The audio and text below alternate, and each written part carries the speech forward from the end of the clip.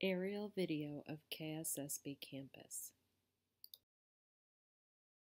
KSSB brings to you the brain, visual system, neuroplasticity, and CVI, presented by Dr. Lotfi Merabet. Um, I'm going to go ahead and introduce Dr. Merabet.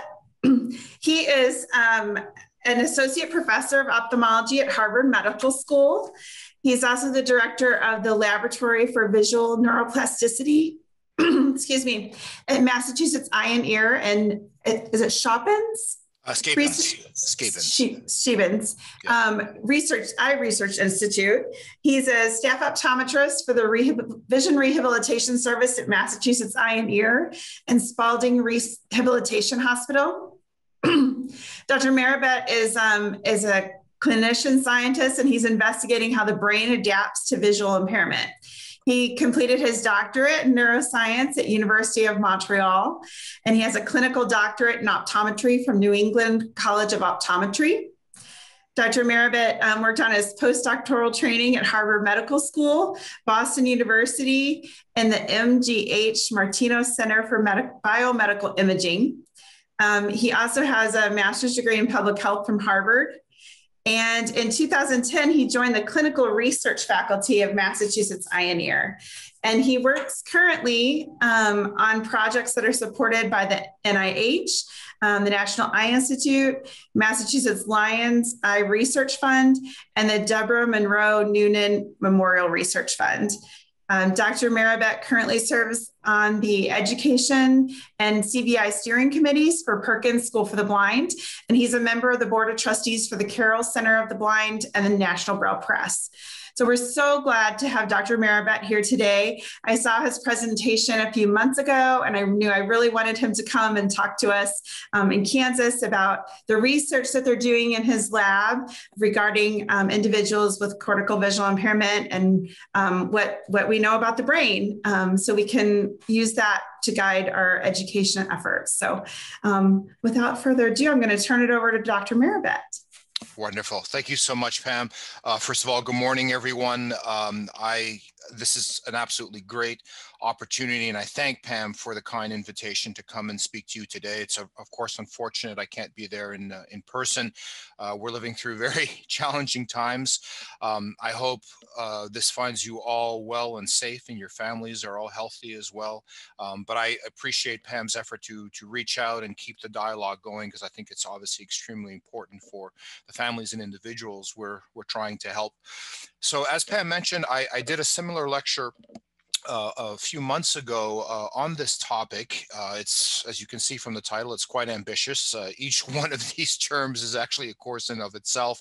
So in about an hour and a half, I'm hoping to give you some important highlights or what I consider important highlights that could be relevant for uh, you know thinking about visual impairment, both also of ocular cause, but also in the case of CVI, uh, and information that hopefully can give you a little bit of a framework and and help you make some some decisions about moving forward in terms terms of the education and habilitation of individuals uh, with visual impairments as well. So I'm going to break it down into three sections, the brain, uh, the visual system and the neuroplasticity and uh, and CVI. Take a you know, couple of minutes in between uh, each one of these sections. If there are some some burning questions, you know, something you'd like me to go over again or something along those lines, you know, certainly feel free. But I do think we'll have enough time at the end for an open discussion. If you have questions specifically, perhaps a particular individual you're working with or general ideas, I'm I'm certainly going to be uh, available and and uh, and free to for for a more open discussion as well. All right. So I believe you do have the handouts and uh, let's get started with our first topic, which is, and hopefully, brain organization, function, and development. So the first slide I always like to use uh, when I when I give this type of lecture is a quote that I once heard from one of my mentors when I was uh, an intern, uh, a postdoctoral fellow, and he said neurology is just like real estate. The three most important things are location, location, and location. And of course, what he was referring to is this idea that there is an intimate relationship between the structure of the brain and the function of the brain. That's to say, for example, if we know where damage is in the brain, we should be able to predict what type of functional deficits that individual has. And similarly, if we know what type of functional deficits an individual has, we should be able to have a good idea of where the damage is in the brain. So this relationship between structure and function is extremely important, and it's a, it's a tenet of, uh, of neurology in general. And we're constantly kind of thinking about this relationship between the two. Of course, what we know today from you know many many years of neuroscience research is that the brain is a highly specialized organ. Even though if you were to look at a brain, it looks pretty much uniform on its surface. There's no indication that one particular part of the brain does a particular thing. It all looks very, very similar. But we know, again, over many, many years of research that the brain is extremely specialized and, and highly organized in terms of what it does. So we know that different parts of the brain do different things. We know that there are areas responsible for motor, you know, for movements, other areas responsible for touch, other areas responsible for smell and other senses. And of course, the back of the brain, which we know is responsible for vision. And this is 99.99% of all of us. The brain has this sort of universal organization that it maintains. And then the question is, how did we learn this? And how is this relevant in terms of our discussion? And in particular, what happens during development if the brain is injured, for example? Does this organization change? And what is its impact in terms of its function as well? So just grossly, when we talk about the brain in terms of its structural organization, the first thing you will notice is the fact that there are two hemispheres, the left and the right. And these we call the, the, the, hemis the two hemispheres of the brain. Deep in the brain are subcortical structures. And in particular, in terms of relevant of our conversation, there's the thalamus. And this is where sensory information comes in. And then communicating between the two hemispheres is something called the corpus callosum, which literally means big body. And this is a large net of connections that allows the two hemispheres to talk to one another. And we'll go back through these, these steps in just, a, in just a second here. But these are really sort of the big chunks, if you will, the overall structural organization of the brain. Another thing that's very important to realize that if I were to take a cross section of the brain, just so slice the brain through like this, this is what you would see. You have the overlying area here, right? This is what's called gray matter or the cortex, right? Deep into the brain, we have subcortical structures, right? Which I'm showing you in blue, like the thalamus, which we'll talk about in just a second. We also have these empty spaces here that are referred to as ventricles. Ventricles are located in the middle of the brain and form a Y shape. This is where fluid sits, and one of the important roles of the ventricles is to absorb shock. So, for example, if there if the brain hits gets a, a hit, this allows the brain to sort of dissipate some of that shock in order to stay as intact as much as possible. But an important thing to think about, and we'll talk you know many times times about this, particularly in our conversation about CVI, are these white matter connections. That's to say, how the cortex talks to the thalamus and how the cortex talks to itself. So these are the, the wiring deep in or inside the brain that allows communication right? So just again to summarize the cortex, where a lot of the processing occurs, the subcortical structures like the thalamus, where a lot of sensory information comes in, and these white matter connections, which allows the communication between all these areas. So it's important to think about uh, mm-hmm. of those three levels, and we're going to spend some time about this organization. So first, as I said, deep down, these subcortical structures, really the important structure to think about in our conversation is the thalamus. The thalamus is the sensory gateway to the brain right, to the overall processing of the brain.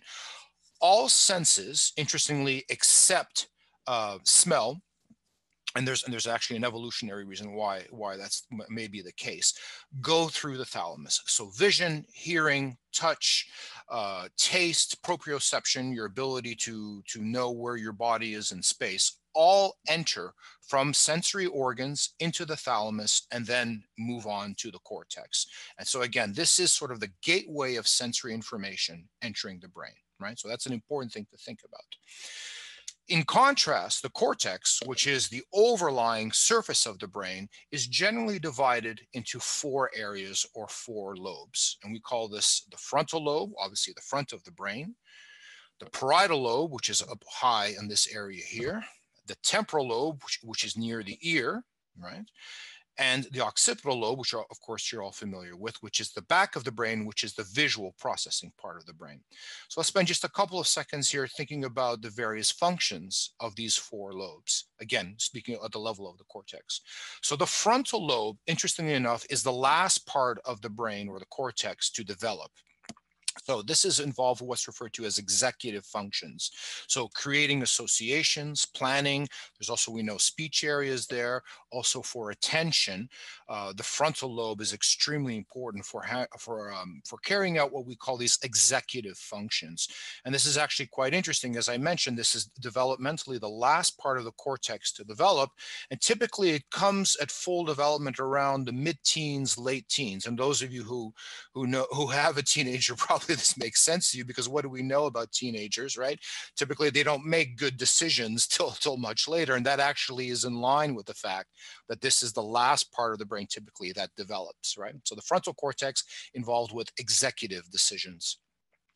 The parietal cortex is involved with spatial processing, right? Where you are in space and how you handle where things are in space, right? This also has some language areas for comprehension. It's also very important for mathematics and computations as well. So spatial processing, how to deal with spatial information is really part and parcel of what the parietal cortex does. The temporal cortex has a lot of functions as well. It has, it's involved with hearing, it's involved with memory, it's involved with smell, and it's also involved, as I'm sure you already know, with higher order visual processing, particularly when it comes to identifying an object, right? Your visual repertoire, your ability to recognize objects in space is intimately related to the function and the organization of the temporal cortex. And of course, finally, the last one is the occipital pole, which again, you're all familiar with, which is essentially involved with early visual processing. So information from the thalamus entering the cortex and those early stages of visual processing before it goes on excuse me, to higher areas. So these are the four cortical areas that we're going to talk about. And maybe the first thing that you should maybe jump out at you or think about is the fact that think of all these functions, right, that uh, the cortex is responsible for, and look how much real estate is dedicated just to vision right? Think about all these things, executive functions, as I mentioned, decision making, attention, language, hearing, et cetera, et cetera, all you know laid out in different areas of the brain. But when it comes to vision, there is an enormous amount of real estate dedicated for visual processing. We'll get back to why that's important in the later on. So one question that I get a lot is, uh, does it matter where the injury is? So I, I, I made this idea or, or, I've laid out to you that there's sort of three levels that you have to think about. These subcortical structures deep into the brain, like the thalamus, these white matter connections that connects in between, and of course the cortex, which is where a lot of the processing actually occurs. And this is important to think about these three levels because where that injury occurs gives us some prediction about what type of, of issues or what type of deficits a patient may have. So again, just to remind you, the gray matter which is laid out on top, which is the cortex, as I mentioned before in that earlier slide, the white matter, which is the, these connections between the brain and the, and the deep structures that I mentioned, uh, like the thalamus. The reason why there is a difference in color between the gray matter and the white matter has to do with how brain cells are, are, are constructed.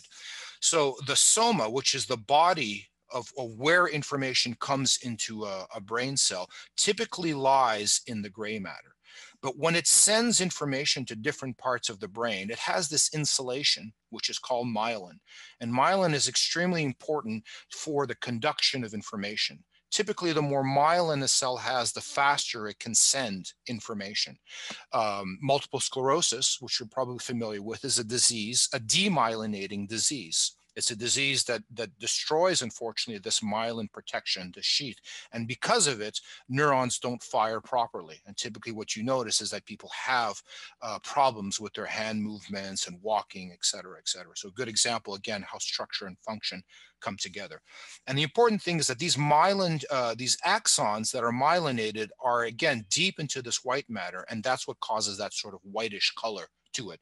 So it has to do with the fact that, that how the cell is organized or the brain cell is organized in the brain. The important thing, again, as I mentioned, is that there is constant communication between the cortex and the thalamus. So information is constantly being cycled. It comes into the thalamus, it's sent to the cortex, and then the cortex is again feeding back to the thalamus constantly. So it's important to think about that, and we'll have more information about that when it comes to vision. But there is a constant exchange of information. So the cortex is constantly looking at what's coming in, the information that it's processing, and it's influencing, again, from an iterative process of what the information that's coming in from the thalamus as well. So there's a constant exchange of information. That's an important principle to think about. So I like to use this analogy. I think it, it's kind of helpful to think about how these three levels work with one another, particularly in the context of brain injury. So I call this the building analogy. Think of your brain as a high-rise building, right? The cortex is kind of like all those cubicles and the high floors, right? Where all the specialists are working, right? The white matter is like the elevators that's shuttling information, shuttling people from one floor to another. And the thalamus is like the lobby. This is where information is people are coming into the building and people are coming out of the building as well. So following this analogy, you can see how damage to different uh, these three uh, these three levels can lead to three different scenarios. Typically, if a person has damage to the cortex, right, a stroke, for example, right, and, and if I take out some of these cubicles, if the people next next door are cross-trained and can do the same sort of processing, typically they can take on that new function and there's some func there's some functional recovery right? There's some redundancy so to speak and that the neighboring areas can take on the new function that of the of the damaged area right? If there's damage to the white uh, matter right the elevator system maybe information can get to other areas from other routes. Maybe there are other stairwells. Maybe there's some other pathways or other uh, elevators that are working but in contrast, if there's damage to the lobby or to the thalamus, then no information can come in and no information can come out. And that's obviously much more detrimental. And we know this from a developmental standpoint as well. Babies that have really a lot of damage at the level of the thalamus typically are those individuals who have the most uh, impairments developmentally. So the thalamus is extremely important, as I said, for this, this intake of information and exchange of information with the cortex. So it's an important sort of way to break down why a particular injury, depending where it is in the brain, can have a different impact in terms of function couple of comments about brain development that I think are, are very important as well. So the basic structural and functional framework of the brain is in place by the second year of life. Brain development after the age of two mainly involves fine tuning, reorganization, plasticity, and remodeling of established major circuits and networks. So let me, let me explain to you graphically what I mean by this. So busy slide, but I'm going to walk you through the various parts here. What you see on this axis here is percentage change. So the higher the number, the greater the change that's actually happening.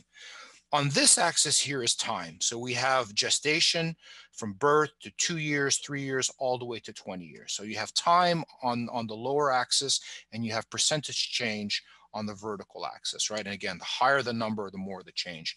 And these are various outcomes in terms of how the brain is organized. It's structural outcomes. Gray matter is the cortex.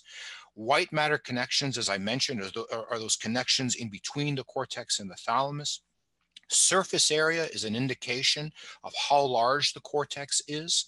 Fractional anisotropy is a measurement of myelination. Remember, I mentioned that a couple of slides before. Myelination is indication of how well a, a brain cell can propagate and send information. And cortical thickness is the thickness of the cortex. It's also an important indicator of brain development as well. And what's the important thing to take away from this figure? Again, up to the age of two, there's dramatic, dramatic change, right, in all these outcomes. But after the age of two, the only thing that really changes is connections, right? So essentially, by the age of two, you're born with all the brain machinery, so to speak, that you're going to get. And after the age of two, it's really a game about rewiring, So that's extremely an important thing to think about and why timing of injury is extremely important when we talk about brain development. So again, just to reiterate this point, up until the age of two, it's a numbers game, right? The brain is dividing cells and replicating and it's, and it's really trying to bring as much neuronal machinery or brain machinery as possible. After the age of two, as I said, it's a refinement game. It's trying to work with what it has and forming connections. After the age of two, we have something what's referred to as the critical period, which again, probably something you've all heard of. And the critical period is the stage during which the brain is especially sensitive to environmental stimuli, right? And in humans, this corresponds approximately between the ages of two and seven. So during this period, after the age of two, the brain is extremely sensitive to environmental stimuli. So that could be vision, it could be language, could be hearing, all sorts of things. So this is when the brain is very, very receptive and forming those new connections based on machinery that it has. As I mentioned, typically we think of this critical period is, is between somewhere two and seven years, but the reality is, is that this critical period, it really lasts throughout a lifetime. It certainly is, the changes are less and less obvious, but I don't want you to think that at seven years old, things stop. The brain is still very, very receptive to change. That's what learning is. But it's important to realize that during these early years, that's when the brain is particularly sensitive to change as well. The last thing I'll mention that I think is quite interesting is notice those of you again who have who have toddlers at home. Remember the terrible twos, right? That's a big, big shift for a child, right? At the age of two, what seems to be happening? They start vocalizing. There's this sort of uh, um, identification of self. They tend to throw tantrums. They're trying to figure out emotionally what's going on. And that's interesting because it coincides with this really rapid change in strategy from a brain development standpoint. Because again, at the age of two, that's when there's this dramatic change of numbers to wiring. So think of it as the brain, again, trying to come together with the information that it has to lay out its overall organization.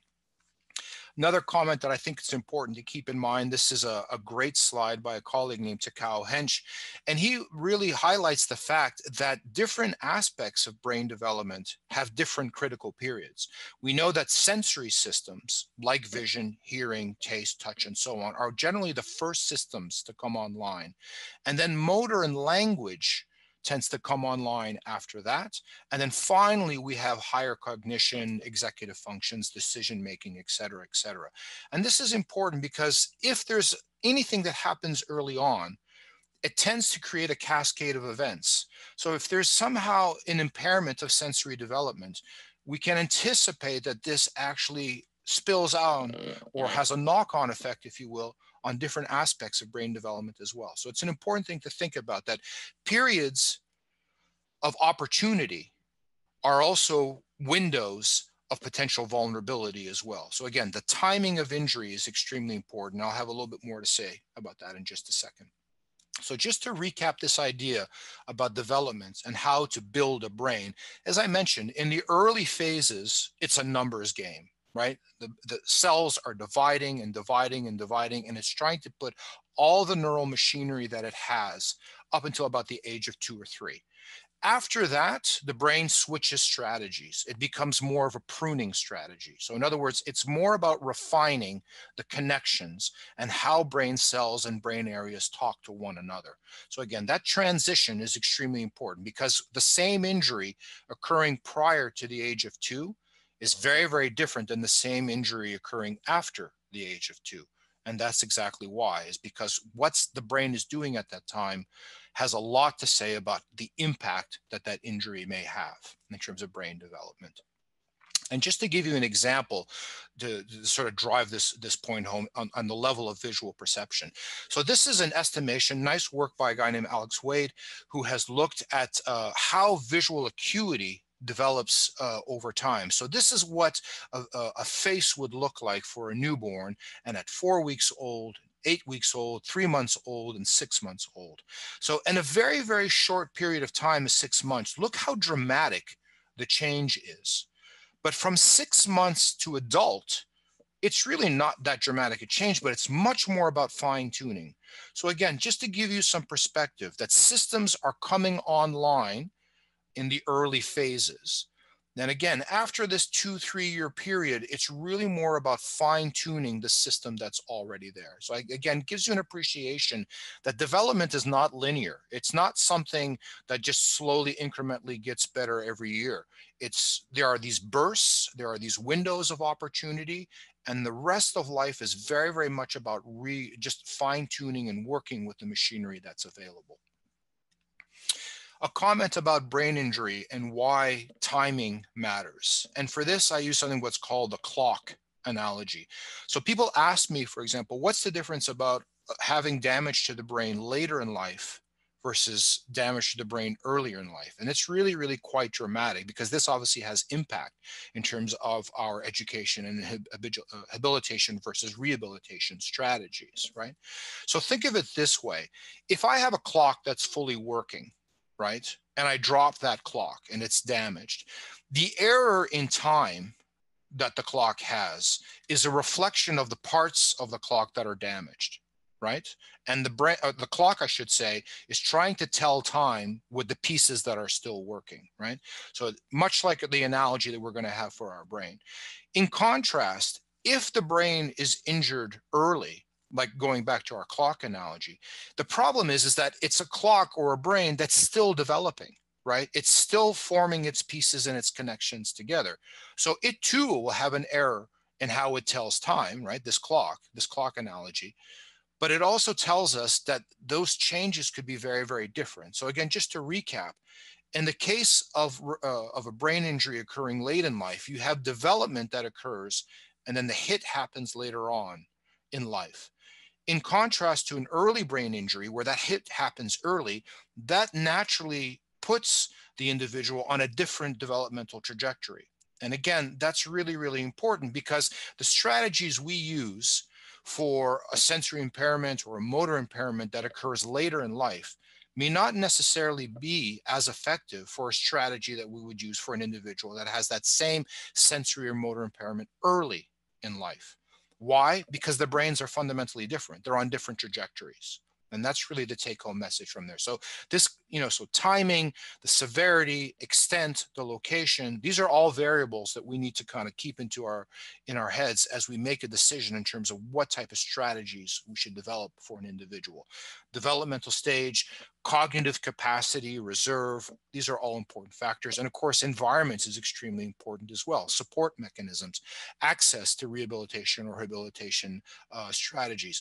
All these factors come into play. And like I say, put the individual on a different trajectory once we consider all these variables. All right, so that's just what I wanted to say in terms of the brain overall, in terms of structure and function. Um, obviously, a lot of information kind of compacted, but I, I, really wanted to just use this as an introduction to make sure we're all on the same page before we start off with the visual system and visual perception. So Pam, I'm not sure if there's any sort of burning burning questions or clarifications that I can I can offer for this first part. We just did have one question, yeah. and it was regarding a student that had a hemispherectomy. Mm. And um, she was wondering how that would affect the student if they have half of, of their thalamus missing.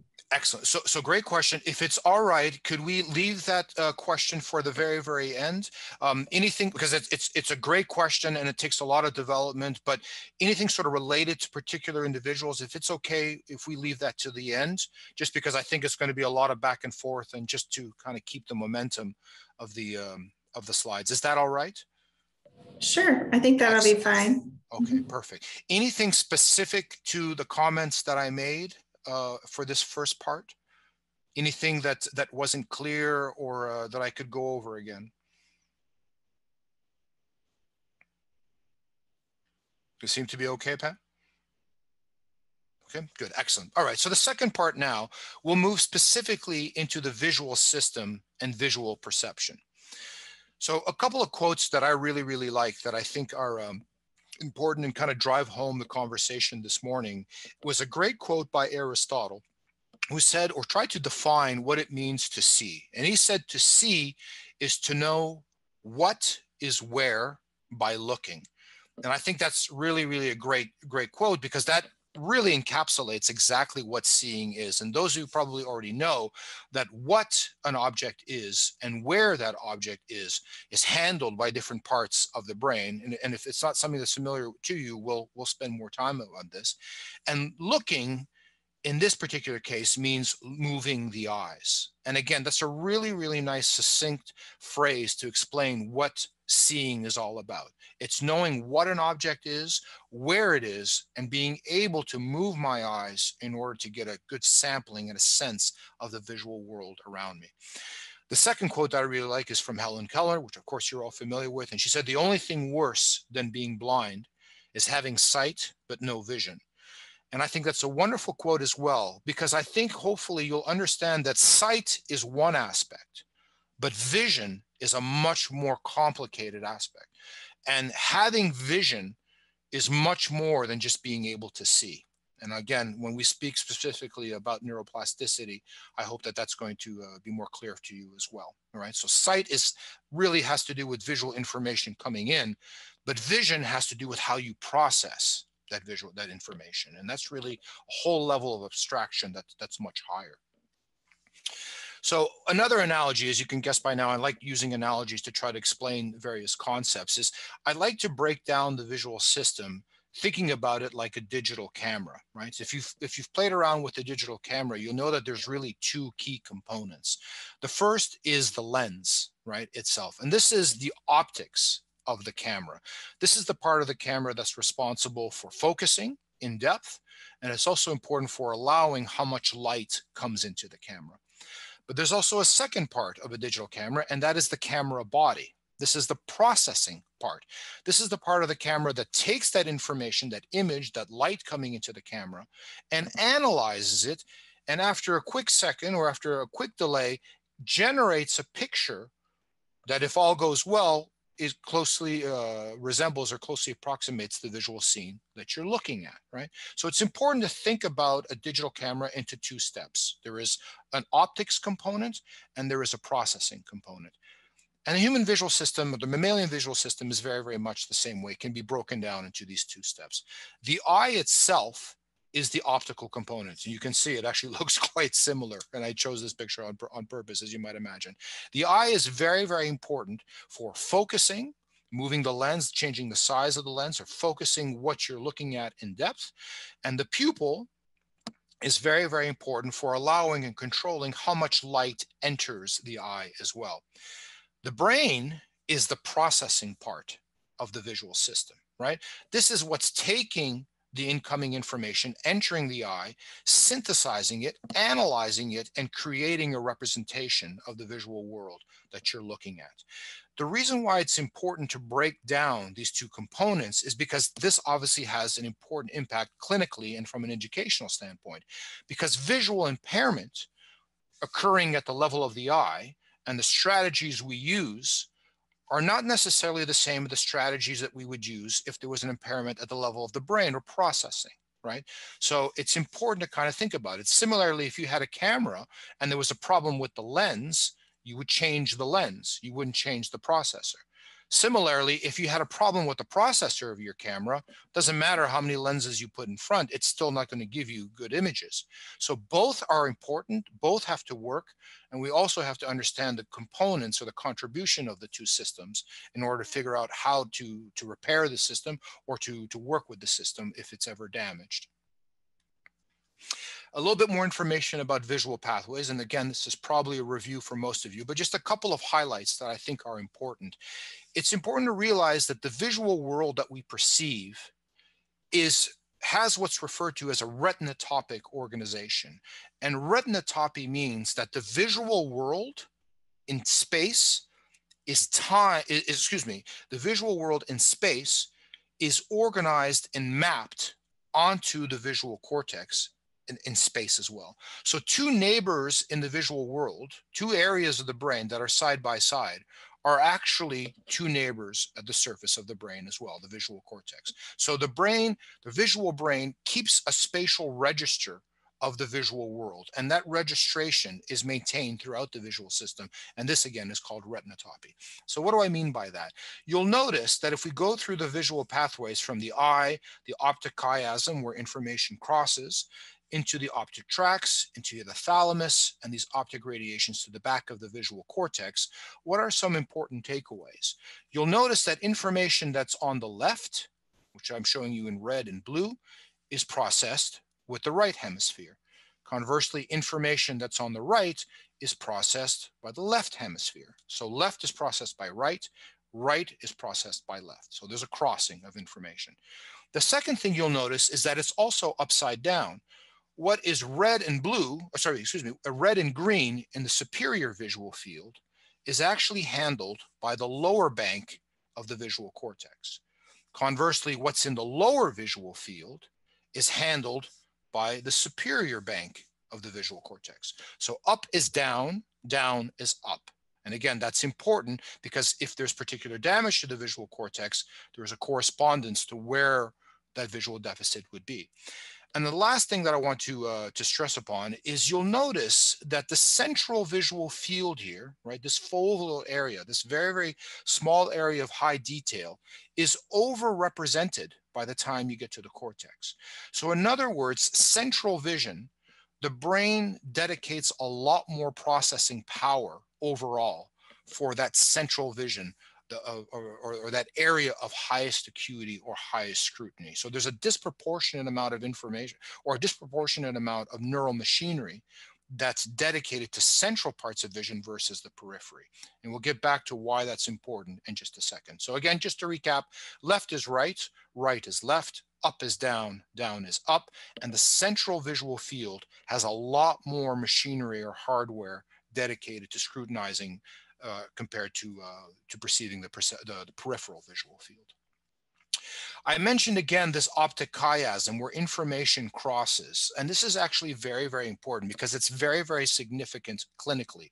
The reason why is because, again, going back to the structural and functional relationship, we know that if an individual has an impairment in one eye, one part of the visual field, for example, that they can't see, 99% of the time, that means that the damage is in front of the chiasm. It's somewhere at the level of the eye or the optic nerve as it reaches the chiasm, right? So if the, if the visual impairment is in one eye, or is in one visual field, I should say, but the other eye, say, is intact, chances are very, very good that somewhere the damage is in front of the chiasm. In contrast, if the visual fields appear symmetrical, right? Let's say they're both, what, what, I'm showing you here is a right hemianopia, for example. Then I know that the damage is behind the chiasm because of this crossover. And this is very, very important clinically because if, again, if I have a sense of how each eye sees, it automatically allows me, or at least gives me a very, very good indication of where I think that damage is along the pathway. And patients will often tell me this. I have patients, for example, with a right hemianopia, and they'll say there's something wrong with my right eye. But in reality, if I close one eye, they see that the deficit is there. If they close the other eye, they see the deficit is there. That tells you that the damage is not at the level of the eye. The damage is actually at the level of the brain. So knowing the difference between what's in front of the chiasm and what's behind the chiasm is very, very important to help you understand where the localization of that impairment or that damage could be. So again, just the front of the chiasm as I showed you here, and after the chiasm as I'm showing you here. All right, nice video here that I like uh, just to share with you. In this video here, we're showing how information leaves the eye, enters the thalamus, uh, which is referred to as the lateral geniculate nucleus, is a very important nucleus for relaying visual information to the back of the brain. And in this part of the video that I'm showing you here, you see how that information crosses at the level of the chiasm right here. So information leaving the eyes, crossing the chiasm, and then going on to the back of the visual cortex, right? So a nice video, I think, that shows how information uh, is sent to the back of the brain and this crossing of information as well. Step by step, let's talk a little bit about the eye. And the eye itself a little bit, you know, a bit of a departure, I should say, of my of my camera um, analogy. The eye is not only an optical component, as you all know, which is responsible for focusing. We know that individuals can be farsighted or hypermetropic. We know that individuals can be nearsighted or myopic, and we use corrective lenses so that the focusing is right into the macula, or into the fovea, so that, that that person sees the image sharply. So the eye has a very, very important optical role to play. And the pupil, of course, opens and closes and controls the amount of light coming in. But the also important thing to think about is the retina is the light sensitive part of the eye as well, right? And embryonically, the retina is part of the brain.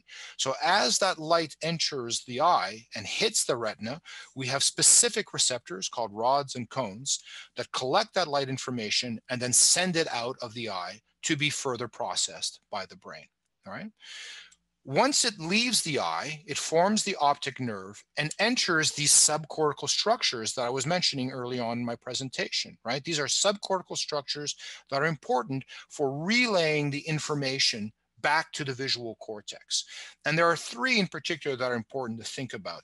The LGN or the lateral geniculate nucleus is an important thalamic nucleus that again collects that information, consolidates it at the level of, a, of the thalamus, and again sends it to the back of the brain. The pulvinar is another nucleus that's very important for visual attention and orienting the eyes, and again, communicating between the cortex and the thalamus. And the superior colliculus, which is a midbrain structure, is very, very important for moving the eyes as well right so deep structures into the brain really the really the interface between information coming to the eye and then sending the information to the back of the brain the visual cortex for further processing once we're at the visual cortex, the primary visual cortex, it's very interesting to realize that a visual image is broken down. So at the level of the primary visual cortex, what we call V1, it's essentially a sketch of, of the image that's coming in, right? So here we have the image that we're, we're looking at. You can see how the primary visual cortex is just kind of breaking it down into sort of a rudimentary image.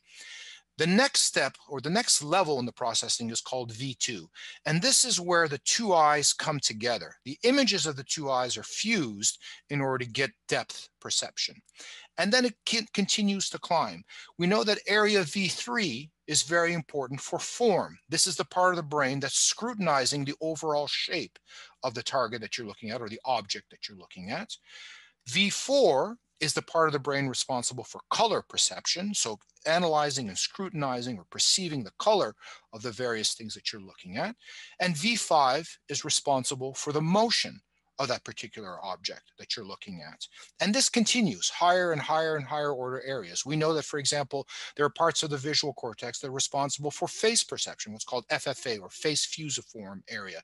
And just incidentally, these areas are not anatomically correct. I'm just trying to break down, showing you that, that it's really important to realize that once visual information enters the cortex, the brain, it's broken down and the job of the visual cortex is to put it all back together again. All these areas have to talk to one another. And today we've identified something over like 30 visual areas, each one involved with the scrutinizing of various aspects of a visual scene or a visual object. And they have to talk to one another to integrate that information in order to make sense of the visual world around us. So let's spend a little bit more time about this and why that's actually important. Another way to think about this organization of visual areas is to realize that there is a division of labor. We know that visual areas of the visual cortex that are responsible for where an object is in space. And these are visual areas that lie from the occipital cortex up along into the parietal cortex and also ultimately into the frontal cortex. We call this the dorsal or the spatial processing stream. So these are visual areas responsible for where objects are in space. In contrast, we have another pathway that goes from the occipital cortex going down to the temporal cortex, and this is referred to as the ventral or what stream. And this is the visual pathway responsible for object perception or object identification. So its color, its texture, its overall identification, this visual repertoire that you're familiar with sits or resides in the temporal cortex. So this division of labor, where an object is and what that object is, is actually handled in two separate parallel processing pathways. It's a very, very useful way to think about the organization of the visual system, but I want to really stress upon the fact that even though they're laid out as two parallel streams, they really talk to one another extensively. And there's a lot more and more research demonstrating the connections between these two these two streams. And there's a lot of crosstalk between these two areas. So even though they may be handling information in a parallel fashion, they're in constant communication with one another. And that communication is extremely important, as you might imagine, right? Nice figure that I like here. This is a simplified view of the visual system of all the visual areas that I talked about. So it's really quite striking just how many areas are involved with the perception or the analysis of a visual scene. And just to kind of give you some perspective, the eye, the thalamus, and the primary visual cortex are in these three areas that I circulated here at the very, very bottom in three. So from the eye to the thalamus to the primary visual cortex, that's just this right? You still have all this in terms of cortical processing that you need to account for. So just thinking about the eye, the thalamus to the visual cortex is really just a small part of the overall machinery that's required. And I think very quickly you can get an appreciation that any damage to this system, any one of these pathways that could that could be damaged could throw the whole system off. And I think you get an appreciation of just how vulnerable the visual system could be to, to an injury or, or a developmental issue, for example. All these pieces have to come together and work properly and work in synchrony. Um, let's move now to visual perception. And this figure is actually different than the one that you have in your in your slide deck. I just came across this uh, over the weekend. I just thought it was an interesting picture. Image of a hallway with lined carpet giving the idea of small hills and valleys. What I'm showing you here is a hallway. And if you look at the carpet, you'll notice how these lines kind of give you this indication that there are all these sort of divots in there right? Hopefully, if you're looking at that, you'll you'll see what I mean. Of course, the, the carpet is, the floor is completely flat. The carpet is completely flat. But it's interesting how playing with the lines gives you this perception that there's all these divots and these holes as you walk through uh, the hallway. And it's a great example of why just studying the anatomy of the visual system tells you only a certain amount of information. How you perceive the visual world really has a lot to do with how it's analyzing. So in other words, visual perception is a construction. It's an active process. It's how it takes information in and creates an internal model in the mind of what it thinks it's looking at. So I think a nice example of that. If you're wondering why uh, this carpet was laid out, it's actually quite interesting. It turns out this is a hotel and they decided to do this to keep kids from running into the hallway. so I think they feel that if they if they see these so-called holes that they'll actually slow down. So I thought it was an interesting picture to, again to kind of give you this idea about how perception can change indeed behavior. Here's another great example of what I mean by perception, right? Uh, a visual illusion, very famous, that came out in 1915. I'm not sure if any of you have seen this before. Um, we'll do a little sort of test together. This picture here, you should be able to see one of two things. You should see either an old lady or you should see a young girl. And hopefully all of you are able to do this, right? So you'll see either an old lady or a young girl. And I'll give you a second to kind of sort of take that in, right? So here's to orient you. If you see the old lady, this is going to be her nose. This is her mouth, and there's her chin. If you see the young girl, she's actually looking away from you. So this would be her cheek, that's her ear, and that's her nose, and that would be her eyelash, right? So hopefully now you should be able to see both forms, right? The interesting thing about this is you notice that you can't see both at the same time. You have to see one or the other. You can't see both. It's what's called a bistable illusion.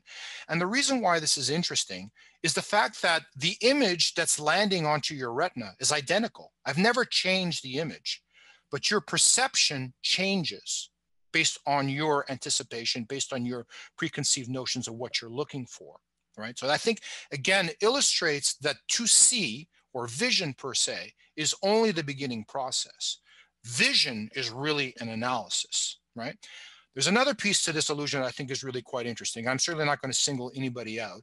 It turns out what you see, whether it's a young girl or an old lady, is correlated to how old you are. the older you are, the more likely you're going to see the old lady. And the younger you are, the more likely you're going to see the young girl. So it's actually quite interesting that there's a, course, a correlation between perception and your age in this particular case. So again, a nice example of how visual perception is largely influenced by who we are. The world that we perceive is very much influenced by the way that our previous notions, our, our previous experiences. So here's an example of why I think, uh, or, or, trying to illustrate the importance of integrating visual information. So here's a task we'll do together. Obviously, everybody is, is going to do this on their own. But here is your task. I'm going to show you a visual scene, and I want you to find the blue O, right? Here we go. Found it? Tony, you're going to help me. You're going to raise your hand if you see it. Do you see it? Yeah, easy enough, right? Thanks, Tony. Okay, I'm going to give you another example. Here it is, right? Very, very easy. I'm going to give you another example. You ready? Find the blue O. You raise it when you see it for me. Okay, here we go. Go ahead, Tony. You see it, yeah? Easy, right? Not too tough. Here's the last one. You ready? Here we go. Find the blue O. Still looking? Tick, tick, tick, tick. it's a lot harder, isn't it? Yeah, a lot, lot harder. There, now you got it. Very good. Just to show you I'm a nice guy, there's actually two of them, right? I actually gave you a double chance. So why did it take so much time? Thank you, Tony, for this, for helping me with this, uh, this demonstration. So why was it harder, so much harder in this particular task? So let's kind of break this down for a second. When I asked you to locate the target based on shape, you were using your shape area to scrutinize this visual scene. When I asked you to identify the same target based on color, the unique feature was color, you were using your color processing area. But when I combined the two, your color area and your shape area or your form area had to talk to one another, right? And that takes time. And that integration is extremely important. So it's a very simple demonstration of how these visual areas need to talk to one another and that processing takes time and this is a very very simple scene in the grand scheme of things right you can imagine that in a very complex naturalistic visual scene the brain is constantly trying to scrutinize take this information in integrating that information and that is really an important thing to think about. So anything that can perturb that, any connections or any areas that aren't working properly, you can then have an appreciation of why the visual the, the, the perception of that visual scene can break down. So the integration of information is extremely important, right? Last thing I want to mention in this particular area is that vision, as I mentioned, is an active process. It's not just mm-hmm. about the image that lands onto the eye. It's about how the brain takes that information and works with it. So an important thing to realize is we don't notice, or perhaps more accurately, we don't process the majority of information that enters the eyes. And a lot of people maybe find that surprising. There's a lot of information that enters the eye, but the brain is not processing all of it simultaneously. It's actually picking and strategically determining what it needs to look at in order to understand the visual scene. And this speaks to the fact that the visual system, there is a fundamental limit or capacity that the visual system and the brain can handle at any given time, right? Because it cannot look at everything and scrutinize everything equally at the same time. It is strategically looking at the visual world and making a hypothesis, an inner model of what it sees, right? And a good example of this is this. So if I were to look at this particular visual scene, at any given time, this is exactly what your visual brain were exactly. This is a simulation of what your visual brain would see. Only a small area in the fovea, in the center, would be of color and of very, very high resolution. The rest of the visual scene is monochromatic, meaning black and white, and of much lower resolution, right? So the question is, how does the visual brain figure out and see the visual world around us? Well, the answer is it moves the eyes. So by moving the eyes, essentially what you're doing is taking a series of snapshots, very, very quick, high resolution snapshots and the visual brain is stitching those pictures together, right? So over time, the brain is stitching a high resolution representation of the visual scene, right? It's constructing a visual, a mental representation of what it's looking at. So eye movements are very, very important because how we move our eyes in the visual scene reflects the content of a visual scene, right? And in reality, the brain is deciding what to look at and where to look and what we should pay attention to. So eye movements are very, very important because it's a window into the brain. It gives us a chance to understand what the brain is actually looking at and scrutinizing.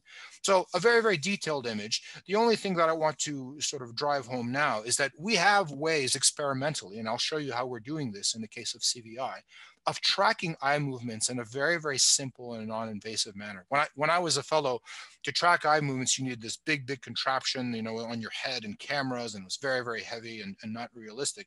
But today, the technology is really quite simple. We use a particular device called a Tobii eye tracker. There are many devices out there this is just happens to be one that we use. Um, it's it's quite nice because you can plug it in into your existing computer, and the tracker is tracking the reflections on the surface of your eyes and using that as a way as an index to see where you're looking on a particular uh, particular visual scene or whatever image you're showing on the computer screen. And this works actually quite well even in infants. Because there are no cables or anything that the child has to wear or the participant has to wear it's a very very easy way to record eye movement so it's a very very robust system the other thing I want to, to drive home is that when you're studying eye movements, you're really looking at a lot of the visual system in the brain in general. You're looking not only at the eyes working as a team, you're looking at subcortical structures that are responsible for moving the eyes. You're also looking at the visual cortex, obviously. You're also looking at the parts of the brain and frontal areas for attention and memory. So when you study eye movements, you're really seeing a lot of the brain in action. And that's why I think looking at visual search paradigms or eye movements in general are very, very revealing into how the person is perceiving the visual world. And let me show you some historical examples of that really sort of drives this point home. This was a classic study done by a gentleman named Yarbus, one of the very first individuals to, to get um, to sort of study this in a, in a very, very comprehensive manner. And what he did is he showed this picture to individuals who were wearing a very old contraption, one of the first designs of an eye tracking system. And he would show this picture to participants and he would record their eye movements. And he said, just look at this picture. And this is what their patterns looked like. So these white dots are where the person fixated and the white lines is where the eyes moved, right? And what you notice under this free examination uh, condition, where do you look at? You notice that it's not uniform throughout the visual scene. You notice that we pay attention to things that are highly relevant and interesting. Faces, for example, objects on the table, for example. And we spend a lot less time on things that are pretty uniform and not very, very telling, so to speak. So the brain picks areas of a visual scene that it thinks can tell you a lot about what you're looking at, right? The next step, which I think is very, very interesting, you said, okay, fine. Now, instead of just freely exploring this visual scene, I want you to estimate the material wealth of the family in the picture. And certainly at that time, how you dressed was a good indicator of how wealthy you were. And what do you notice?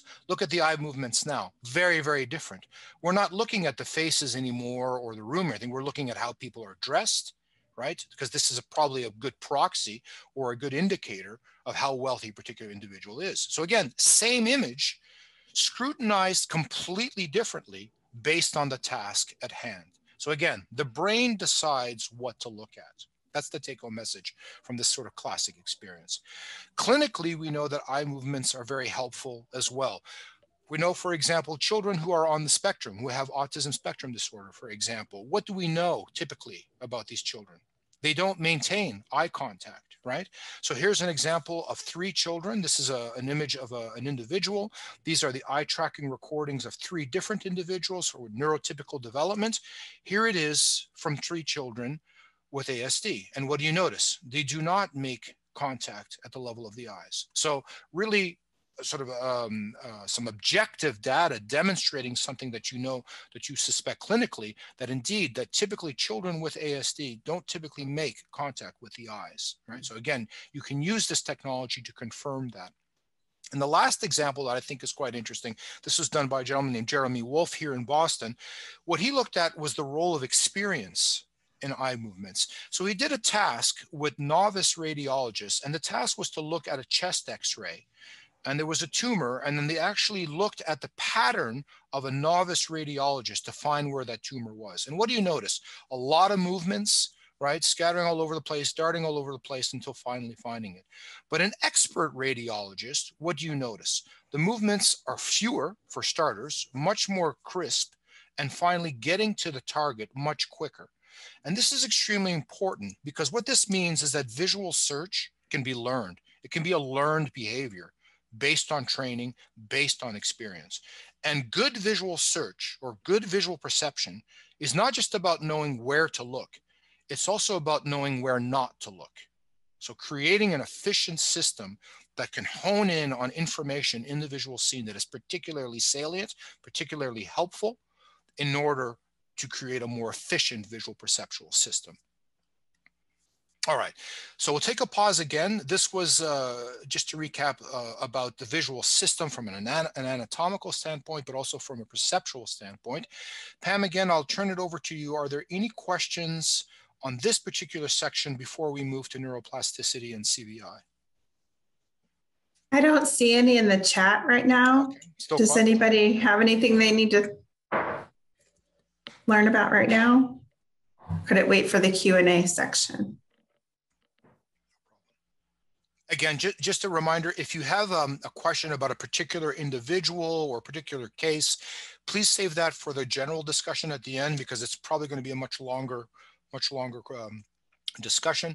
But if you have specific questions, as Pam said, about brain structure and function, visual system and visual perception, uh, things that I, maybe I can clarify before we move on, please, please go ahead. Looks okay? Excellent, very good. So now we'll move to our final and perhaps the most interesting part, uh, thinking about neuroplasticity, visual impairment, and the specific case of CVI. So obviously what I tried to do is give you a little bit of a groundwork about, about brain structure and function and visual system and perception. Now we're going to study how the brain adapts and changes in the specific case of visual impairment. And we'll talk not only about um, CVI in the case of a brain-based visual impairment, but we'll also talk about some of the earlier work in neuroscience in neuroplasticity in the case of ocular blindness as well. So anytime again, when I when I talk about this topic, there I think there are a number of things that are important to highlight when you get into the subject of visual impairment overall. And the first is the timing and localization of visual impairment and blindness. And there are four scenarios that I think that are important to distinguish.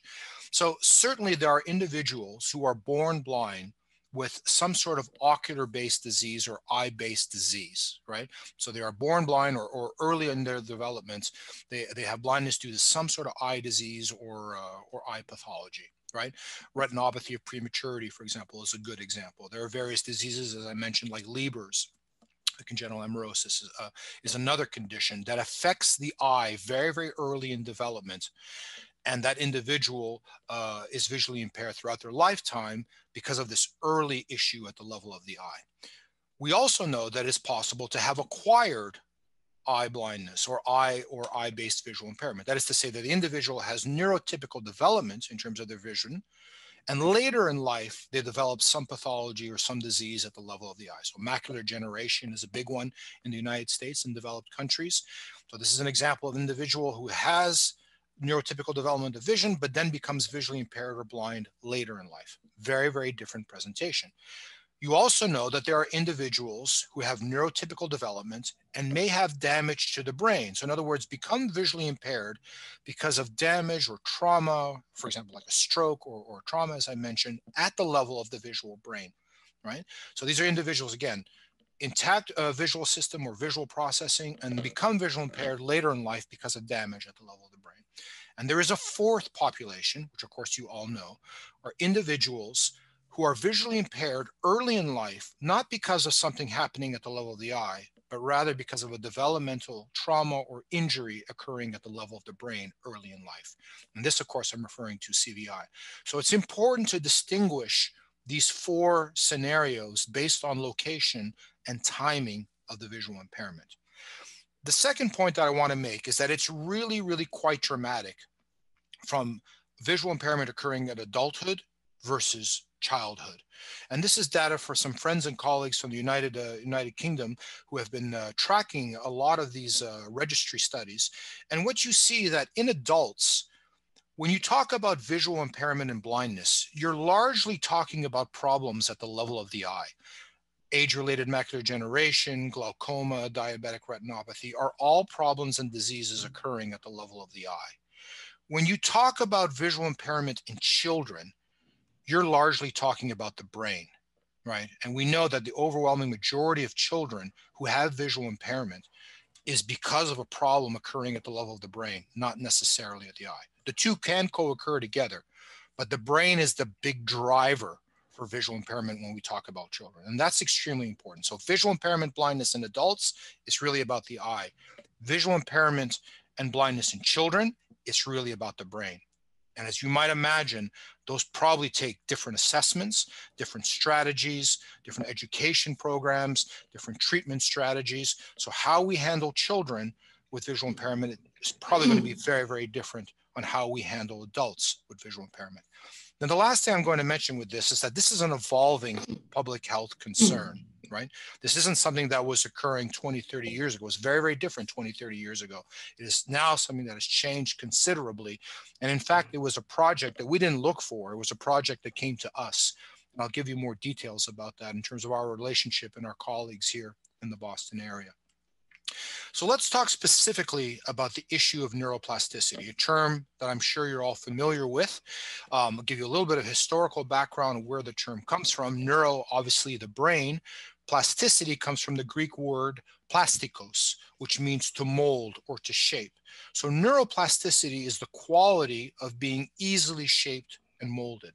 And just like a piece of plastic or pieces of plastic can be molded into different shapes and different functions or different uh, objects, so too can the brain under different conditions and different uh, environmental uh, uh, scenarios, the brain can also change its shape and its function as well. So this is what we mean by neuroplasticity.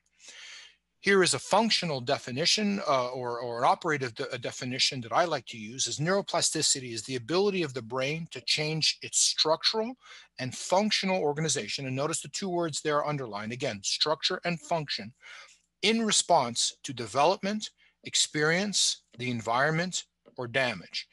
The important thing to think about this is that it's not a guaranteed fix, right? I have a lot of patients and, and, and families, for example, in my brain injury clinic who tell me, okay, fine, you know, when when's the plasticity going to kick in? You know, when when is this all going to just come back to normal? And unfortunately, it's not that simple, right? Neuroplasticity isn't necessarily a good or a bad thing. It's a fact of life. It's an intrinsic property of how the brain works. And what we have to understand as teachers, as neuroscientists, as clinicians is what are those parameters that influence neuroplasticity? And how can we steer it and guide it in a way that is optimal for the recovery or the education or the habilitation of a particular individual? That's really the core concept of, of trying to understand and study this particular phenomenon. Let me give you a great example of neuroplasticity that I think really drives home this point about compensatory strategies and how the brain can rewire itself based on various uh, environmental scenarios. This is a picture actually that hangs in my, that's hanging in my office right now, and I like it because it really sort of drives home this idea. So I will tell you a little bit about um, this particular uh, individual. Uh, this was a picture taken by um, a photographer named David Seymour after the Second World War, and what he did is he he went around Europe after the Second World War, taking pictures of children to really try to drive home the plight children were going through after the war as towns were trying to get reconstruction and rebuilt and, and, and so on. And he found this particular young boy in Italy. And this young boy was born blind, and like many children in his situation, he learned to read Braille as a form of communication. One day, unfortunately, he was out in the field playing with his friends, and he picked up something that he shouldn't have, and that object was a landmine. The landmine exploded, destroyed both his hands, and became a double amputee. He can still read Braille, not because he sees the dots, but it's because he's using the surface of his nose and his lips to read, to, to, to, feel the dots and read uh, the actual text. And I'm showing you another picture here. So here you can see the child with a very, very enlarged print size of Braille, and he's using his nose and his lips to read the Braille dots. So really a dramatic example of neuroplasticity or compensatory neuroplasticity, the brain rewiring itself using another input mechanism in order to carry out the jobs of perception that it that it needs to do. So really a dramatic example of neuroplasticity in this particular case. So this brings up an interesting story in the, in, the, in the scenario of visual deprivation or blindness. And is it somehow an advantage? And there's a lot of interesting work in the neuroscience realm that has tried to, to dig at, uh, at this question. Let me give you the example of Stevie Wonder, who you all know. This is an individual who lost, who became profoundly blind very, very early um, in, uh, in his youth. And of course, became an incredibly talented and very, very successful uh, musician, which I'm sure you've all, you've all heard his music. There's an interesting philosophical question. And the question is, was his blindness somehow an advantage? In other words, did he become an incredibly talented and successful musician related to the fact that he was blind early in life? So in other words, if Stevie Wonder wasn't born blind or lost his vision early at a young age, would he still be the same individual today? And I think that's an interesting philosophical question, but it's also a very, very interesting uh, neuroscience question as well. And there is indeed a lot of evidence that in the case of early ocular blindness, these blind individuals or these individuals with ocular blindness show compensatory behaviors across the senses. So there's evidence, for example, that the ocular blind individuals have a keener sense of touch. They have, or I should say, uh, have a, um, or, or uh, a keener sense of touch, as I said, or are better at localizing sound and space, also identifying certain smells. They also have superior verbal memory recall in terms of uh, various tasks. So for example, if I give a list of 10 words and I ask them to come back a month later to recall those words, they actually do better than aged matched uh, sighted controls. So it's quite interesting that in the case of ocular blindness or early ocular blindness, we see these compensatory behaviors across various senses and functions. But there are caveats to this particular observation. It's not every individual that shows these compensatory behaviors, first of all. And second, it's not in every situation. And third, there's another way that you can look at it. The question becomes, are, are, are individuals who are blind necessarily better? Or is it because sighted individuals are really bad if you blindfold them or you ask them to use this or do the same task as well? So it's sort of two ways that you can actually look at this. The second piece that's quite interesting is thinking about overall brain development you know that the visual cortex is a large, large part of the brain. So the question now begs the question, or, or I should say, this begs the question that if you were born blind due to an ocular cause, what is the developmental fate of all these brain areas that are normally responsible for visual perception? And this also was studied extensively by a number of individuals using a technique called functional neuroimaging. And I'll again show you some data from that as well. So what I'm showing you here is from a PET scan this is a congenitally blind individual or group of congenitally blind individuals. You're looking at a sagittal cut of the brain. So it's going through like this. This is the front of the brain. This is the occipital visual cortex here. And what you notice in these group of congenitally blind individuals, again, from ocular cause, this very, very robust signal, this lighting up, if you will, of the visual cortex. So you might ask, why is the visual cortex active in an individual who's never seen before? And the answer is, is that these individuals are reading Braille. So it turns out that in the case of early onset ocular blindness, blind individuals or individuals with profound ocular blindness use their visual cortex to process non-visual information or non-visual sensory information. Not only in the case of Braille, which is obviously tactile, but we also have evidence that this is true for auditory uh, localization or sound localization or auditory tasks. We also know this is true for smell or olfaction. And we also know that this is true for verbal memory. So that in the case of early onset profound ocular blindness, we know that the visual cortex is functionally recruited to process non-visual information. So it seems that the visual cortex is the seat of compensatory behaviors that we see in the case of individuals with profound ocular blindness let me give you an example of why I think, or why, or example, I think to drive home the point of why the occipital or visual cortex is extremely important in this process. Because you might say, well, you know, how do I know that this is true? You know, these, these fancy brain pictures and you're showing me the visual cortex is active, but how do I know it's really, really important for these, these compensatory behaviors. I'm going to share with you a case report that I think drives home this, uh, this issue. So this is a story. So I, I had the chance to work with this individual, but this event happened before I arrived at the hospital. So it's I'm telling you the story that that I heard. All right. So at the time, this was a 63 year old right-handed female she was she had congenital blindness she had retinopathy of prematurity her reported visual acuity was no light perception in both eyes she hits normal developmental milestones and she learns to read Braille at the age of six. She's a highly proficient Braille reader. You'll agree with me that 120, 150 symbols per minute is a very, very fast Braille reading speed. In fact, she was the editor of a, of a Braille journal for La ONCE, which is uh, the Spanish organization for the blind in Spain.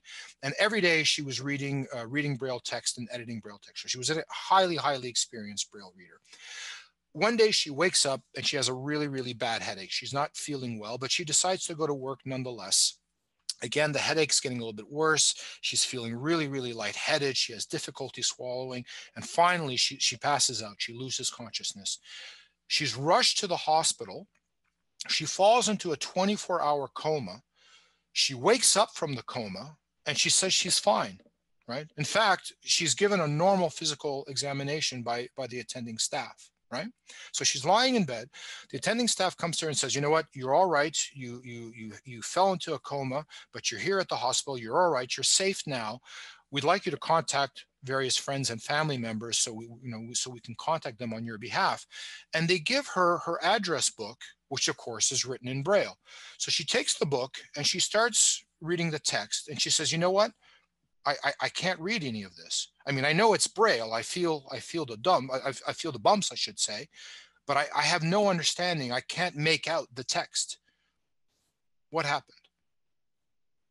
She had a stroke. The interesting thing is where the stroke was. It was in her occipital cortex, right? So this woman became alexic for Braille. In other words, the acquired inability to read Braille not because of damage to the part of the brain responsible for language or the part of the brain responsible for touch, but damage to her occipital visual cortex. So what I'm showing you here, these are axial cuts. These are two T2 weighted scans. What you see in white is infarcted tissue. So we think what happened was that there was a stroke at the tip of the basilar artery that took out both banks of the visual cortex or the primary visual cortex. And to this day, she is unable to read Braille because of damage to her visual brain. So pretty strong uh, you know, correlational uh, evidence that the visual cortex, again, becomes recruited for this process. And if you damage the visual cortex profoundly, it obviously has a profound impact on her compensatory behaviors. So again, the visual cortex is, is very, very important to the question, is all plasticity good plasticity? And I think that's an important thing to think about uh, as well. As I mentioned, you know, patients and families will always ask me, you know, what do we need to do to, to crank up the plasticity and so on? Well, the fact is, is that plasticity can be bad as well. You have what's referred to as maladaptive plasticity. Phantom limb pain is a great example of that. You know, there are individuals who become amputees either a limb, uh, you know, it could be their leg, it could be, for example, their hand or their forearm, for example. And these patients will complain of incredible, excruciating pain, even though the limb isn't there. They'll say, you know what, I feel like my hand is being crushed or it's like it's in a vice even though the hand has been amputated. This is an example of maladaptive plasticity. This is again the brain trying to figure out and deal with the information that it's that it's receiving from the outside world. And in this particular case, it's a maladaptive strategy or a maladaptive response. So again, plasticity plasticity isn't necessarily a good or a bad thing. It's a fact of life. And what we need to do is how understand how to steer and control that plasticity in a way that is optimal for recovery of function. All right, so just to recap this first point before we move on to the case of CVI. Hopefully I've convinced you that in the case of neuroplasticity or in the case of individuals who are born with congenital profound ocular blindness, the fate of the occipital visual cortex becomes a system or becomes a, uh, an area of the brain that's recruited to process non-visual information. And we think that that's very important for compensatory behaviors in these individuals. The question now is, let's say you were born with your eye intact, but now you have congenital damage to your occipital visual cortex. What now happens from a developmental standpoint and compensatory behaviors, et cetera, et cetera. So now we can imagine how we've moved from the scenario of ocular blindness to now the situation of CVI, because that's exactly why we think that the scenarios are different, right? So the developmental trajectory of an individual with early onset ocular blindness is very, very different than an individual who has dam or early damage to visual areas of the brain. All right. As I mentioned, I want to explain to you how we got involved with this project and our relationship from a community standpoint. And I'd like to talk about the Perkins School for the Blind. You're all probably familiar with this uh, with this school. It's the oldest and first school for the blind in the United States. Uh, school with a long uh, history. Helen Keller was a student here, and Sullivan was a teacher here.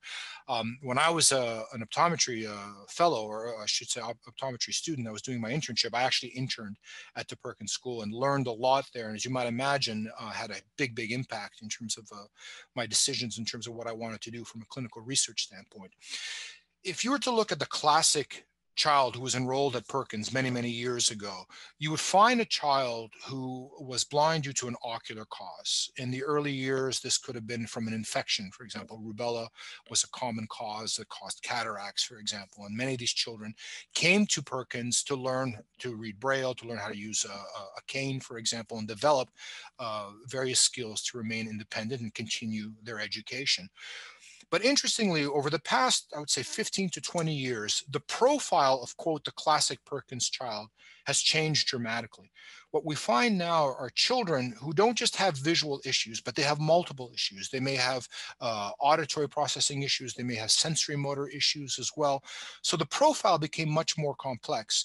And in particular, what they found as the visual impairments that these children had were not necessarily related to issues at the level of the eye, but rather issues at the level of the brain. And more importantly, what the teachers were noticing is that these classic uh, uh, strategies, like learning Braille or learning to use a, a, a cane, for example, were difficult to transfer to this particular population, this new population now. And the question is why? How is it that you have two children, you know, let's say with, with 2100 visual acuity, one from an eye-based cause and the other related to a brain-based cause, why are they so different, even though their visual uh, impairment could be classified as similar, right? And the reason why is because we think that these individuals are on two very, very different developmental trajectories. And that's really what drives uh, the interest for the project that we're working on right now. So as you know, the profile of children who are enrolled uh, in schools for blind, not just in the United States, but developed countries in general, has changed dramatically over the past 10, 15 years. In fact, cortical visual impairment or cerebral visual impairment, or let's call it CVI for the purposes of this presentation, is now the most common diagnosis or association of visual impairment in the United States and also in developed countries, right? It's really quite dramatic on how this profile has changed. And if you look at this breakdown here, you'll notice things like syphilis, herpes, toxo, cytomegalovirus, these are all infectious causes. You'd have to think that these numbers are going to continue dropping over time with good public health initiatives and good uh, medical practices and so on. Things like retinitis pigmentosa, Leber's, these are genetic diseases, right? And these are disorders that a lot of people are making great progress in. And you would have to think that also those numbers are going to decrease with time. And also retina, uh, retinopathy of prematurity or ROP, this is a condition, well, it turns out we have a lot to do with that. And now a better understanding of what goes on in the, in the NICU or neonatal um, intensive care we're able to again bring those numbers down as well. So the point I'm trying to make is that over time, what it means to be born blind or, or with a visual impairment is going to look very, very different than how it did 150 or you know 30 years ago. So that profile of visual impairment is going to change considerably. The second thing I'll mention with this, again, something you're probably all familiar with, is where did these kids come from? Why didn't we know about this, say, 30, 40 years ago? And the reason is, is a lot of these conditions or a lot of these brain-based visual impairments, I should say, is related to the fact that we're saving these children. So excellent neonatal care, uh, emergency care, these children were not surviving 20, 30, 40 years ago, but they're surviving today and they're surviving and thriving but with these developmental complications that we need to account for. And many of them, as you know, have visual related processing issues and visual perceptual issues as well. So this is how we, we got to where we are today, this sort of shift in profile that we're seeing in children with visual impairment.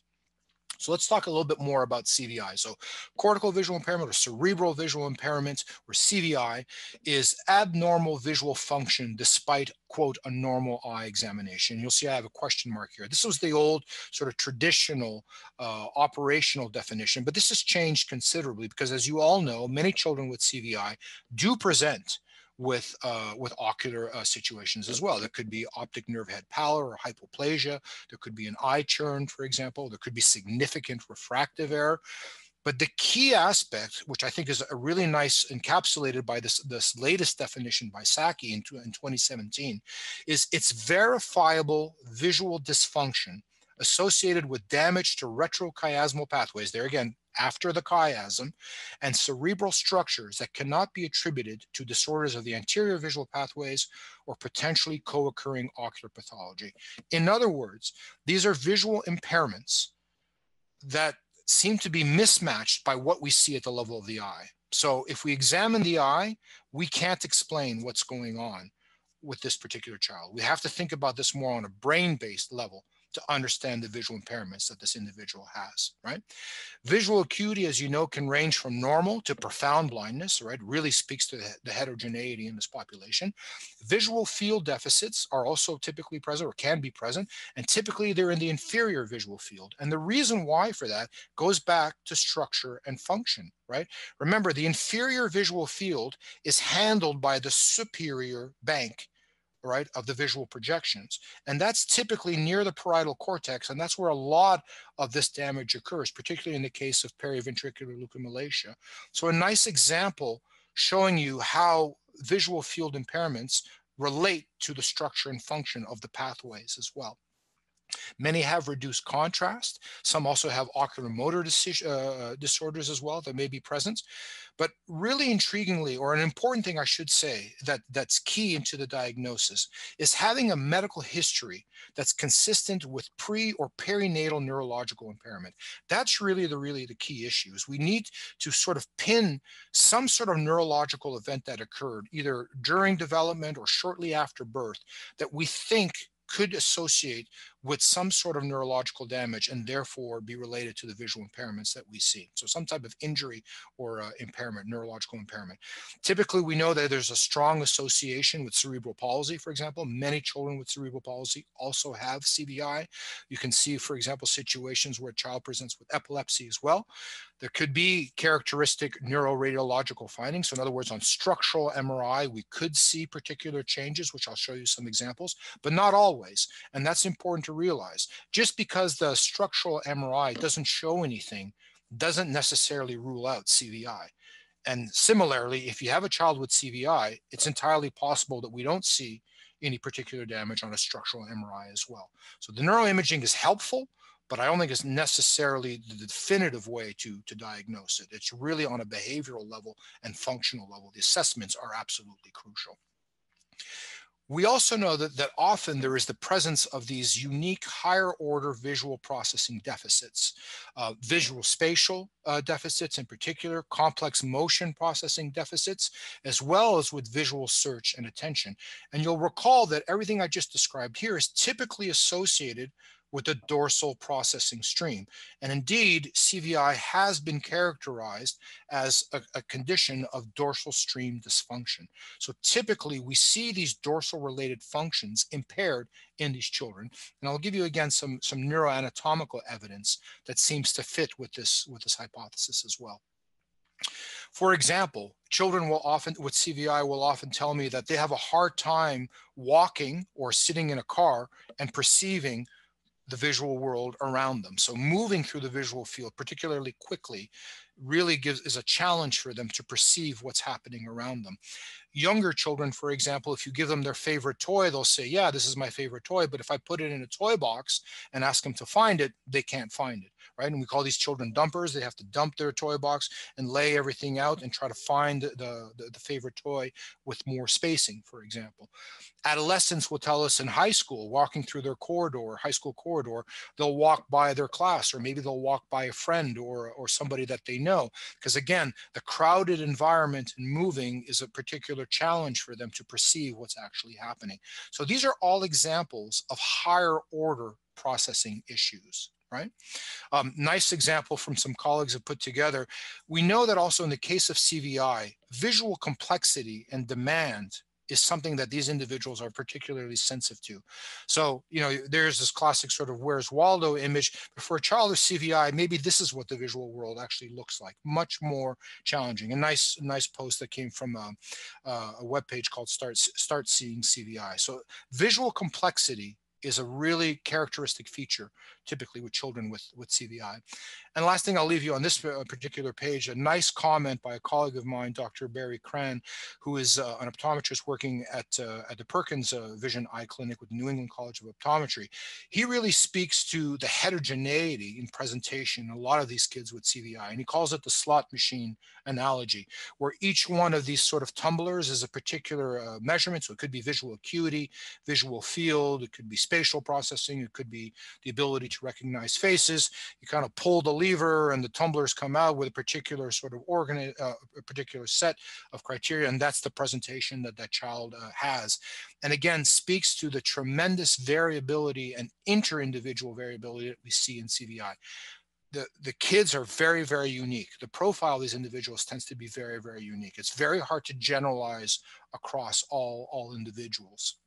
And it's important from an assessment standpoint to keep that in mind. A little bit more information about CVI in terms of the major causes. Again, probably review for many of you, but let's just kind of go through many, many causes of CVI, but the biggest one is perinatal hypoxia or some ischemic event. So in other words, essentially the baby has a stroke during development, right? The baby is uh, is in stress, uh, maybe uh, at, at, risk uh, of dying, and we go in and we save the baby and we put it, the child, for example, in neonatal, intensive neonatal care, and we save the baby. But there are many, many other causes to keep in mind as well. It could be trauma, could be maternal health issues, could be infection, it could be genetic and metabolic disorders as well. But again, the big one is some sort of hypoxic or ischemic event, right? This is again very very important because we know that hypoxic damage or or or uh, or ischemic damage to the brain causes extensive damage throughout not only in terms of white matter as i mentioned the connections between the cortex and the thalamus but to the cortex itself and also to the thalamus also. So you may ask why do i use the term cerebral visual impairment the main reason is is because we know that there's damage that is quite extensive throughout the brain it's not just the cortex that's damaged we know that white matter is damaged extensively we know the deep structures of the brain are damaged as well so i particularly use the term cerebral to get at this idea that the damage reflects all the levels of the brain as well, not just the cortex. It's also useful to separate children in the case of hypoxic or ischemic damage, those who are born premature versus those who are born term. And those individuals who are born premature, that's to say less than 37 weeks, often you have this presentation where you see these very, very large ventricles, right? So the, electro, the ventricles enlarge. This is a condition called periventricular leukomalacia or PVL, where blood rushes into the ventricles. And as the blood is resorbed back over time, those ventricles enlarge right, in size, right? And around the ventricles, of course, are these white matter connections that are damaged in terms of development, right? And we call this hypomyelination, meaning lowered myelination or impaired myelination. And of course, these are the pathways that connect to the visual brain and other parts of the brain. So once these pathways are damaged, that's when we anticipate there's going to be processing issues, depending again where they are in the brain. If they're in the back of the brain, they're of course related to vision.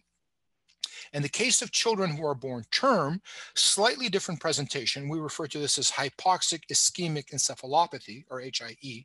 Slightly different presentation because the brain is a little bit farther along in terms of its development, but areas of the brain, what we call watershed areas, in other words, parts of the brain that are far away from where the arteries and the veins run are typically very, very susceptible to any type of, um, of, of, reduction in oxygenation and blood flow and has a slightly different presentation, but we know that there is still also very diffuse white matter injury. So again, just keep in mind that in the case of hypoxic and ischemic damage, white matter injury is very, very common in these individuals. Again, white matter being the connections in between the brain. So in terms of our research, we have two primary areas that we're interested in. The first is coming up with novel methods of characterizing brain anatomy and function and CVI. So obviously, as I mentioned, if you just look at the level of the eye, you're not going to get a good indication of what exactly is happening at the level of the brain, right? When you look inside the eye, you see the retina, and that's certainly very, very important. I don't want to downplay that.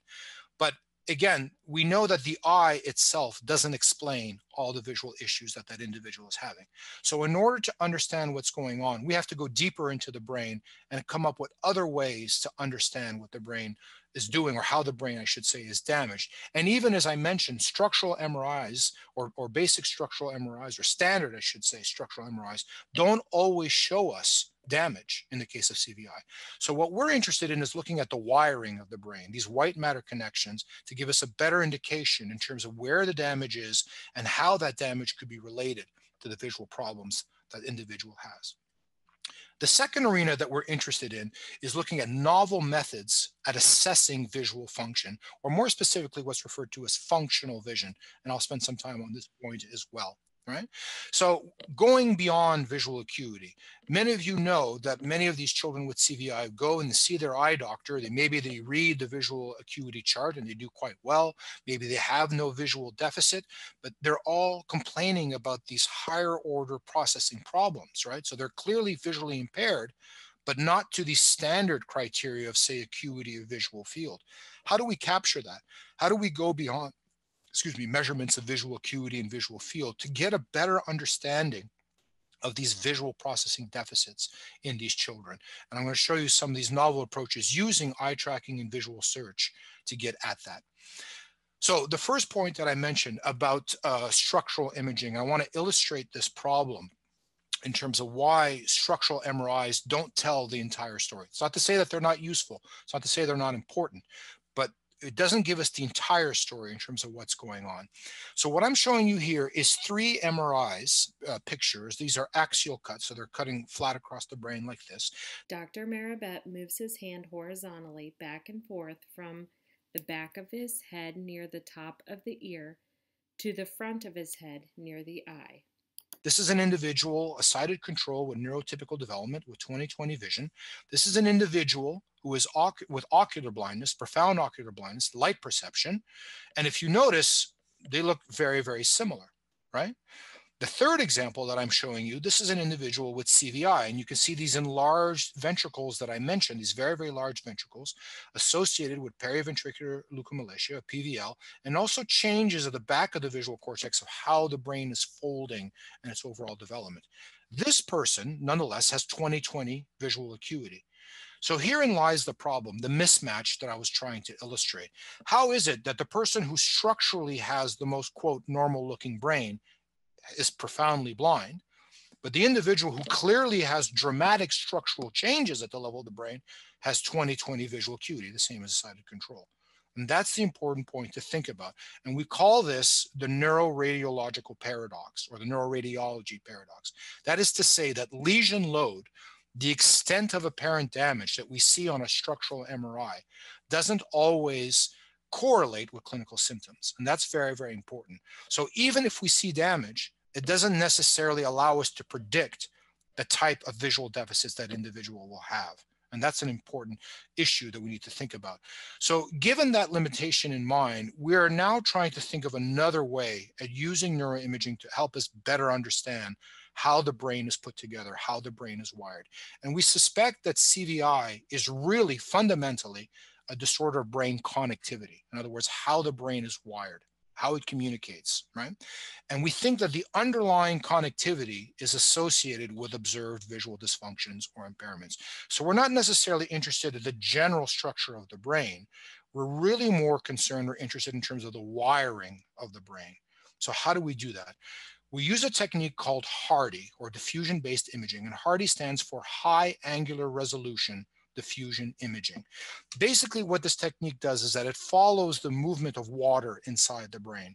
And if that motion of water in three-dimensional space is going along a particular plane, we hypothesize that that motion is in line with how a brain, uh, uh, or I should say how a nerve cell is oriented, right, along the axon of that nerve cell. So for example, if it's going along this, if the water molecule is moving along this way, it means that it's oriented with a nerve cell in that same direction.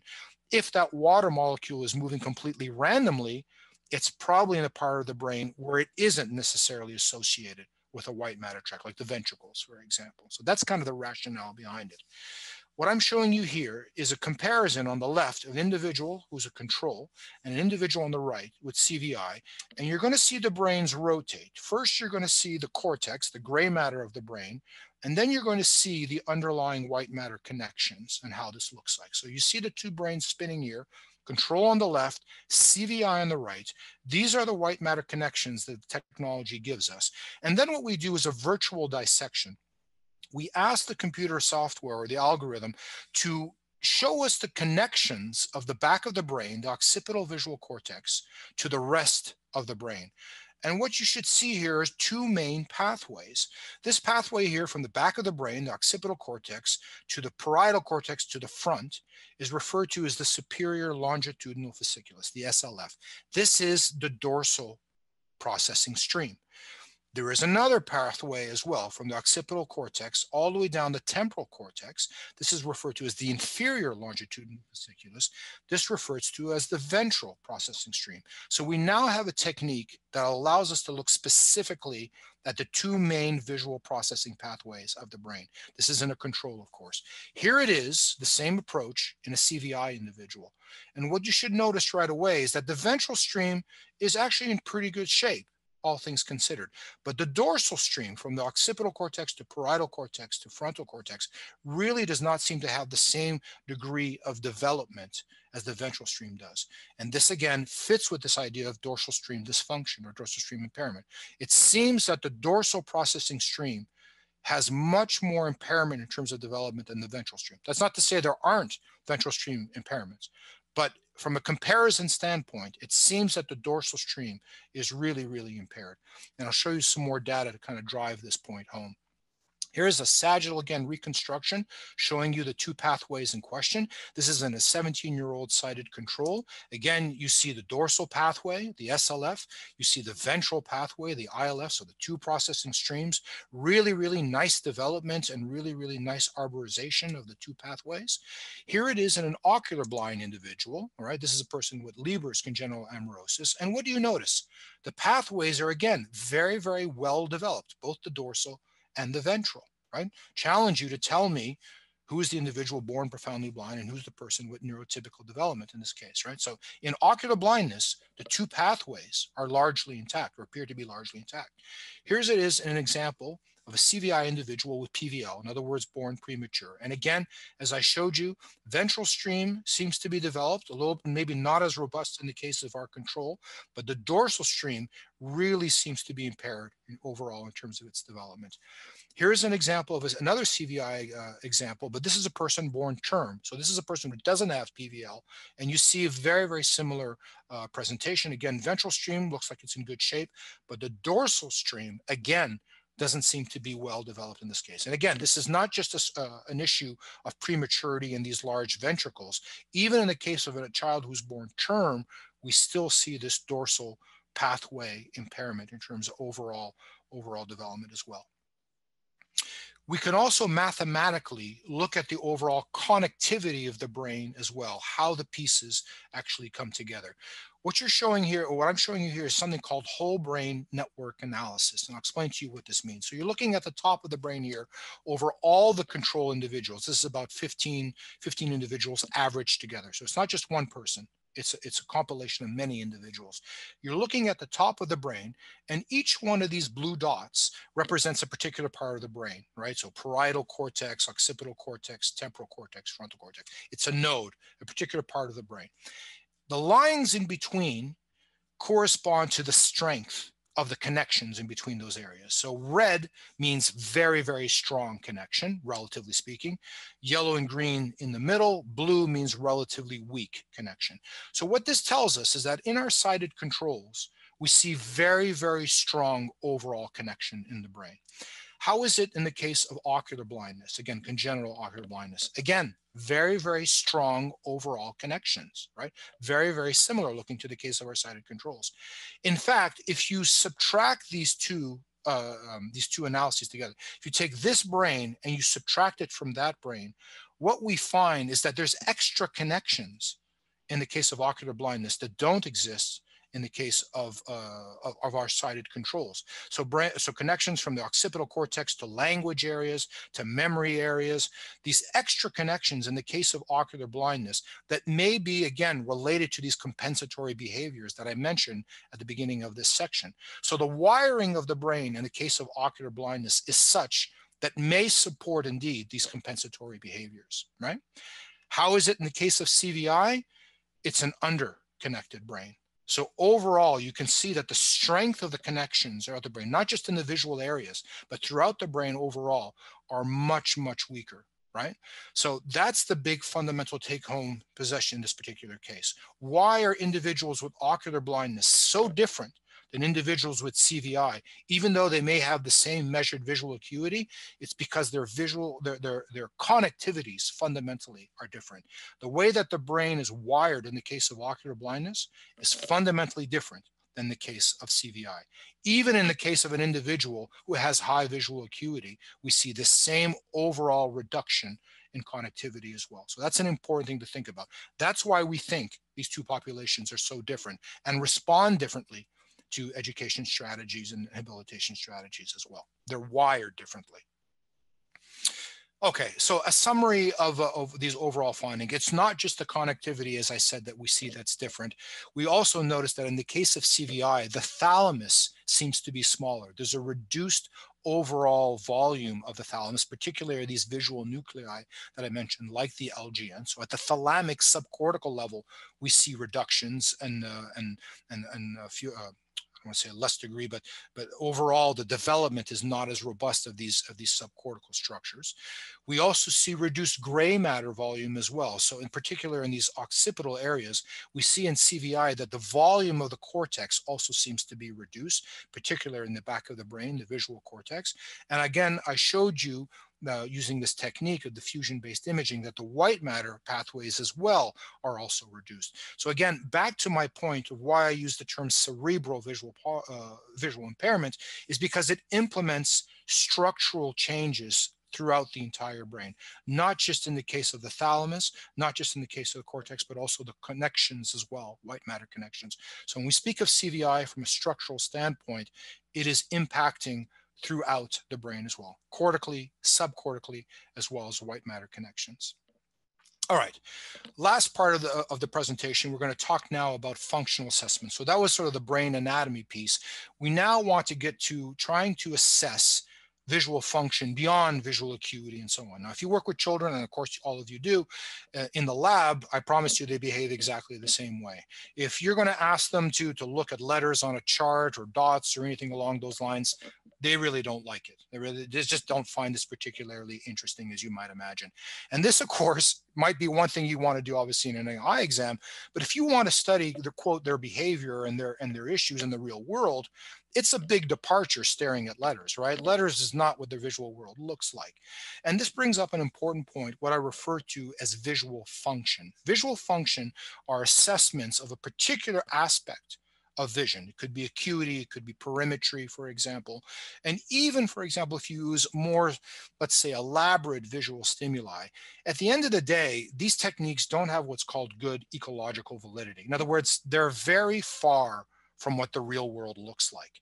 They have excellent stimulus control, right? I know everything there is about these particular stimuli, the contrast, the size of the targets, how many targets, et cetera, et cetera.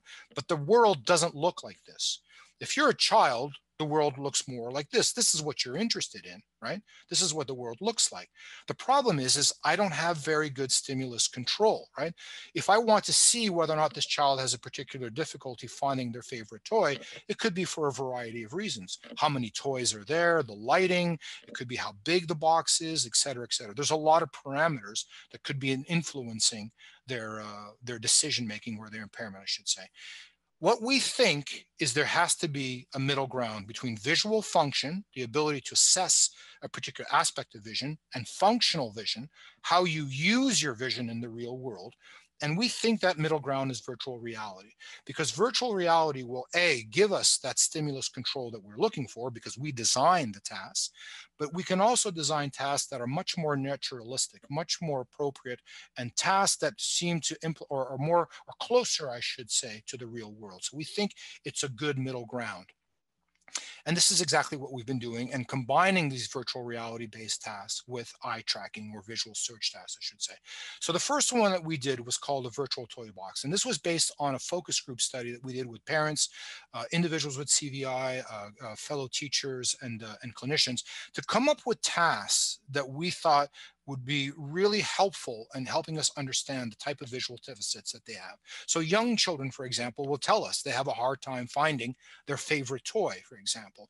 So we did something called the virtual toy box. So this looks like a toy box that you're looking down from a top top view. And the idea is that you have to pick a toy that you want to work with, right? So it could be a blue truck, an orange basketball, a yellow duck. So the child has to pick the toy they want to work with. And this is important not only from a motivational standpoint, but also to make sure that the child recognizes the toy in isolation by itself. Then we put the toy in a five by five matrix. So in this particular case, the toy is, is the blue truck. It's a five by five matrix. And what you notice is we change the number of distractor toys in the matrix. So low, medium, and high distractors means that we change the number of toys that are different, right? So our suspicion is that as we increase the number of distractors in the five by five matrix, it's going to be harder and harder to find the target toy. We also add other conditions. We add what's called a color match. A color match is a second toy that's the same color, but a different shape. Because we want to know, is the child using the actual shape to identify it, or is it using another cue, for example, the same color to identify the target as well. So this is kind of a, what's sort of a catch trial, if you will, to see if if another toy of the same color somehow impairs their performance or distracts their performance. And then we have sort of this background clutter scenario where we increase put all this sort of clutter in the background to see does this make the task even harder when you really really make uh, the visual clutter and crowding of the visual scene really really at a high level and this is what the, the results look like. So I'm showing you an eye tracking recording here. On the left is a control with neurotypical development. On the right is an individual with CVI. The task is again to look for this particular blue truck. You'll see this yellow blob moving on the screen and that yellow blob is where the eyes are at any given time. It's important to note that when they do the task, they don't see this yellow blob. I'm just doing this for the purposes of the recording right? So just to show you where they are. So this is a head-to-head -head comparison, and let's take a look at what it looks like, okay? So what you notice right away is that in the control individual, they get straight to the target, but the CVI individual takes a much more long and, and complicated path. Here is the, the color match. Do you see how they go back and forth before they decide that it's the blue truck? And here's the situation with clutter. In this particular case, they get there. And it's the second example, you see that they miss it completely right? So a nice example showing you that yes, they can find the target, but the path that they get there is much more complicated and much longer. And we think this fits with the typical presentation that we see with a lot of CVI individuals with CVIs. They tell us after school they're exhausted. And we think a lot of it has to do with the fact is that they're working harder to do exactly the same task. They get there, they find the target, but it's it's not as as crisp, it's not as direct, and again, going back to my original comment, good visual performance is not just about knowing where to look, it's also about knowing where not to look. Right? And I think this again gives a nice example of how the path is much more circuitous, much more difficult uh, for the case of CVI than it is our case of controls. You might also think that, well, maybe the reason why this child is having such a hard time is they may have some underlying deficit about their eye movements, and that actually isn't the case. What I'm showing you here again is a control recording, again, control on the left, CVI on the right. And what you notice here is that when the toy is by itself, both the control and CVI get to it right away, right? There isn't this long, long path to get to it anymore. In fact, again, Can you distinguish between the CVI and control individuals? They look identical, right? So it's not the task itself of trying to find the blue truck in, or the target in isolation. It's the complexity of the visual world and the environment that makes the task harder to do. Again, something that you would not get in a standard eye exam. You would have to find a scenario like this to show that indeed there is a visual impairment related to that search. We have data with this. We have a large, a fairly large sample of individuals. We have about, I think, eight or nine CVI, no, excuse me, over 10 now CVI individuals who have participated in this task. In this graphic, what I'm showing here is the effect of task demand, so low, medium, and high, as you move across this axis, or excuse me, this, this axis, the task gets harder. And on the y-axis is their performance. And the important thing, the important thing to remember here is the higher you are, the worse you're doing on the task. And here is the performance in our controls, right? The blue line that you see here. So on low task demands, medium task demands, and high task demands, you see that there's a slight uptick between medium and high. But overall, our controls are pretty stable in terms of their performance. So as the task gets harder, for the most part, they're performing pretty much at the same level. Here it is in our CVI individuals. First of all, at the low task level, you notice that they're already performing worse. And as the task gets harder, you have this steep rise in this curve. And we think that this steep rise in this curve corresponds to the sensitivity of task demands. As the task gets harder, as there's more and more different distractors, as we make the task harder, their performance goes uh, uh gets worse and worse. So they're extremely sensitive to increasing task demands. Interestingly, we have a subgroup of CVI individuals who have very, very high visual acuity, 2020, 2025 visual acuity, and their performance is the same. You'll see that their line here essentially overlaps with the other CVI group. So high visual acuity doesn't get you out of this. This is not just a visual acuity issue, I should say, or it cannot be explained, I should say, by visual acuity impairment. It's really a processing issue. It's a higher order spatial processing issue, not just an issue of visual acuity we have now coupled this um, this uh, task with EEG recordings or electroencephalography. Electroencephalography allows us to record brain activity at the level of uh, that's correlated or associated with this particular task. So here you see the device that we're using. In fact, this is me. This is why I can show this picture. So here you can see I'm sitting in front of the monitor. The eye tracker is down here on the bottom, and we have this wireless recording technique. These are 20 electrodes on my head, and you'll notice that it's attached to this little yellow box box.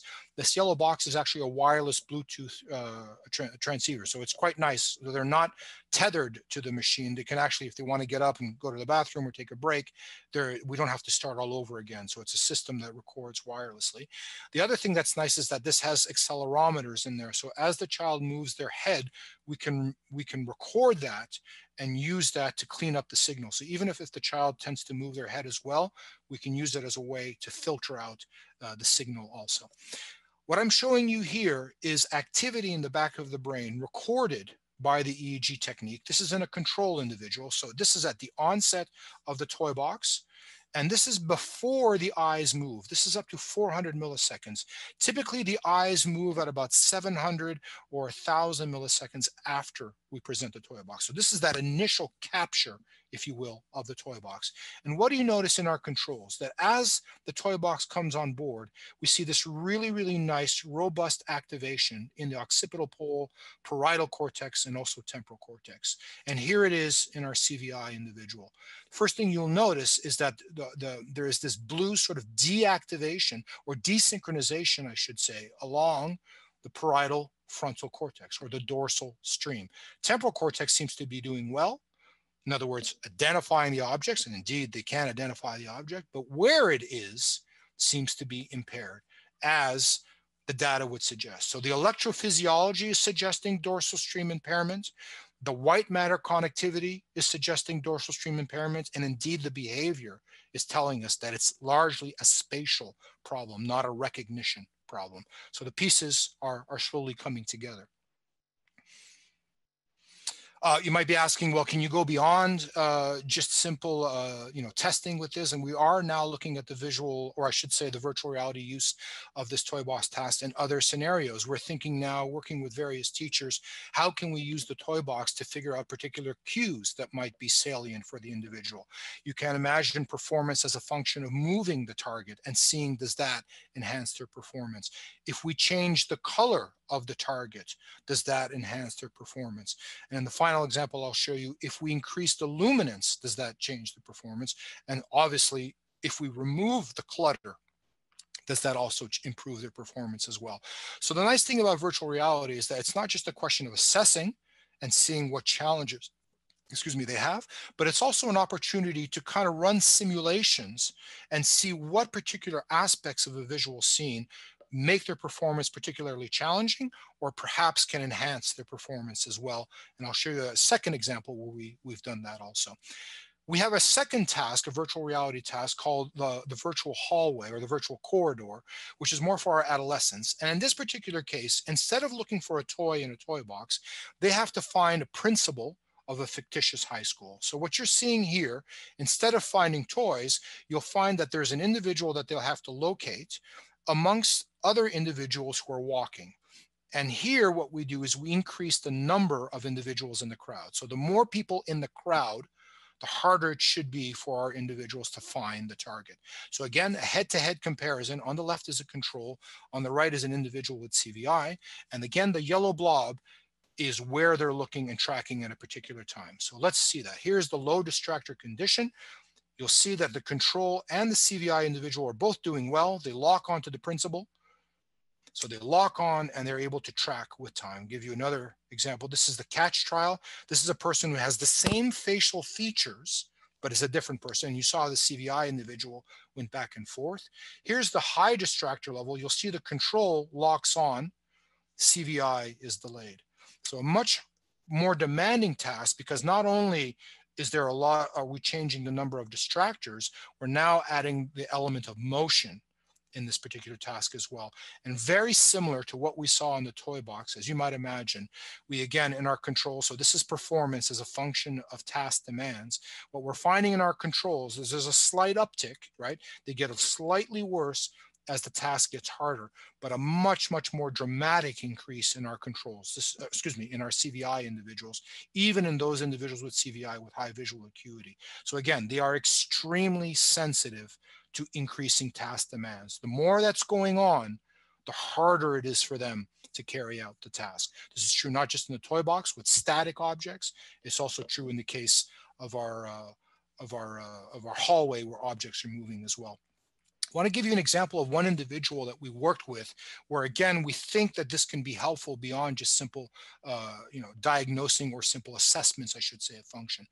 So one thing that we did is we said what was particularly challenging for this child. So we asked them to do the child and here's the performance and controls in blue right? And here's the performance of the individual on the task. So controls in blue, again, this relatively flat association. Our CVI individual in red, again, they're, they're, they show this relationship of impaired performance with increasing task demands. Then we did exactly the same task with them moving through the environment. So not only were the individuals moving in the corridor, but they were moving themselves through the corridor. And what we found is that this actually made their performance worse. So moving through the environment and doing exactly the same thing made the task even harder. So this was one cue that we did for this particular young man to say, you know, if you need to find your classroom or a particular landmark, you need to stop and assess the visual uh, scene in front of you to kind of get your bearings, to get an understanding where you are and then proceed. Because we know that moving through the environment actually makes the task even harder. A second thing we decided to do was to try to increase the saliency of the target. And you may think that this is a strange, a strange solution, but we thought it was quite interesting that if we put the target wearing a very bright yellow jacket, so in this case, the principal is wearing a bright yellow jacket and replicate the task, what we found is we essentially normalized his performance. So in other words, creating a high saliency target really dramatically improved his performance for this young gentleman which of course is quite dramatic. And I'll show you an example. So this is the same individual with and without this yellow jacket strategy. So you can see here with, they find the principal, and contract it. Without, they missed it completely. I'll show you another example here. You can see they lock on right away back to it and can track. Here, without it, they can't find it. So the use of a high saliency target or a high saliency uh, cue is very, very helpful for this particular individual, which again was something that the family was able to take and use. Now, I'm not suggesting that they should call their school and say that the principal wear a yellow jacket, but it really gives you a sense that there are some cues that might be particularly helpful for an individual. In fact, I'll tell you a quick story. And we're, we're very, very close to the families that we work with and this mother gave me um, uh, told me a story or sent me a text how they were going to this particular uh, amusement park uh, near their home where there were a lot of a lot of people and and their son of course was very very anxious of going to a place where there was a lot of crowds and so on. So the mother had a very very clever idea of all of them wearing these bright orange t-shirts so that their son at any given time could look back and find his brothers, his parents at any given time. And this lowered his stress level tremendously. The fact that at any given time he could locate his family, for example, really allowed him to enjoy his day and also for the family as well. So just to give you an example of how using these virtual reality scenarios can help you probe, figure out if there are particular cues that might be particularly helpful for that particular individual and that could eventually could translate into the real world. Last couple of examples I'm, uh, I'm going to share with you. We're also very interested in trying to understand, in the case of CVI, contract, uh, concrete versus abstract concepts. And what do I mean by that? So for example, if I show you this object here of an actual banana, this photo of a banana, you have no problem recognizing it. This is a cartoon picture of a, of a banana. Here is a caricature, caricature, I should say, of a banana. And here is something that is the same color and shape of a banana, but is not a banana, right? But you have no problem distinguishing between these four objects. Why? Because your visual repertoire is very, very robust and you're able to easily distinguish between them. What we're finding with a lot of the individuals that we work with with CVI is they have a hard time extrapolating beyond realistic photos. So it's a challenge for them to see these sort of abstract pictures and so on and make sense of these abstract pictures. So with a colleague named Matt Tietjen, who you're probably all familiar with, trying to come up with a more systematic approach to study this, right? So the idea is to use these color photos and then break them down into various uh, various options. So there could be a color representation that's realistic. There could be a non-colored representation, and there could be an abstract representation of that same target. And we jumble these all around, and we ask the child to recognize them, right? To identify, I should say, the target. And what we're finding is that our controls are able to, again, recognize across the board, but our individuals with CVI have a much harder time the more and more abstract the targets are. And I'll give you just an anecdotal example that Matt shared with me that I thought was actually quite interesting. So here's one of the targets that he showed. And this particular view, it's a caricature of an elephant or an abstract drawing, I should say, of an elephant. We go through the task and the young man is going through it. And when we ask him, what do you see? He says, it's a remote. We say, okay, that's fine. We continue through the task. And then after the task, we go back and we ask the individual, can you explain why you chose that particular, you know, why did you say remote for this particular particular object, right? In other words, he doesn't see the elephant, he sees it as a remote. And it's actually quite interesting because I don't know if any of you have a PlayStation at home, this is what a PlayStation remote looks like. So you can see kind of the parallel with that, right? The ears are kind of like the handles. These are the two eyes, right? So this is a young man whose visual repertoire, obviously, as I mentioned, is highly influenced by his prior visual experiences. So when you show him an abstract image, he is going to fit it with something that he's previously seen or very familiar with, right? In this particular case, it's it's a remote that he plays with almost every day. So a nice example of showing you of the visual world that you perceive is very, very much driven by your prior visual experiences, right? We are again looking at this at a more systematic level, looking at the role of language function and semantic processing. Again, uh, interesting task that we're putting together. I'll show you very, very quickly. What we do is we flash a word on the screen, in this particular case, helicopter. And then we flash an image, or we show, I should say, a visual scene, and the individual has to search the visual scene and find the target that's presented. on the screen before. So for, for the helicopter, they have to go through and look the visual, uh, search the visual scene and find the target. So they have to read the word, put a mental picture in their mind of what that target looks like, and then find it in the realistic visual scene. When you do this in a control individual, and the green dots show you where they were looking. And what do you notice? They go to the teddy bear, they go to the airplane, they go to the train, and then they go to the helicopter. Objects that are semantically similar, they're all toys, right? These are all transport objects. So in other words, when we look at a visual scene, we automatically guide our search to things that we think are helpful and, and helping us find the target. In contrast, you do exactly the same task in a CVI individual.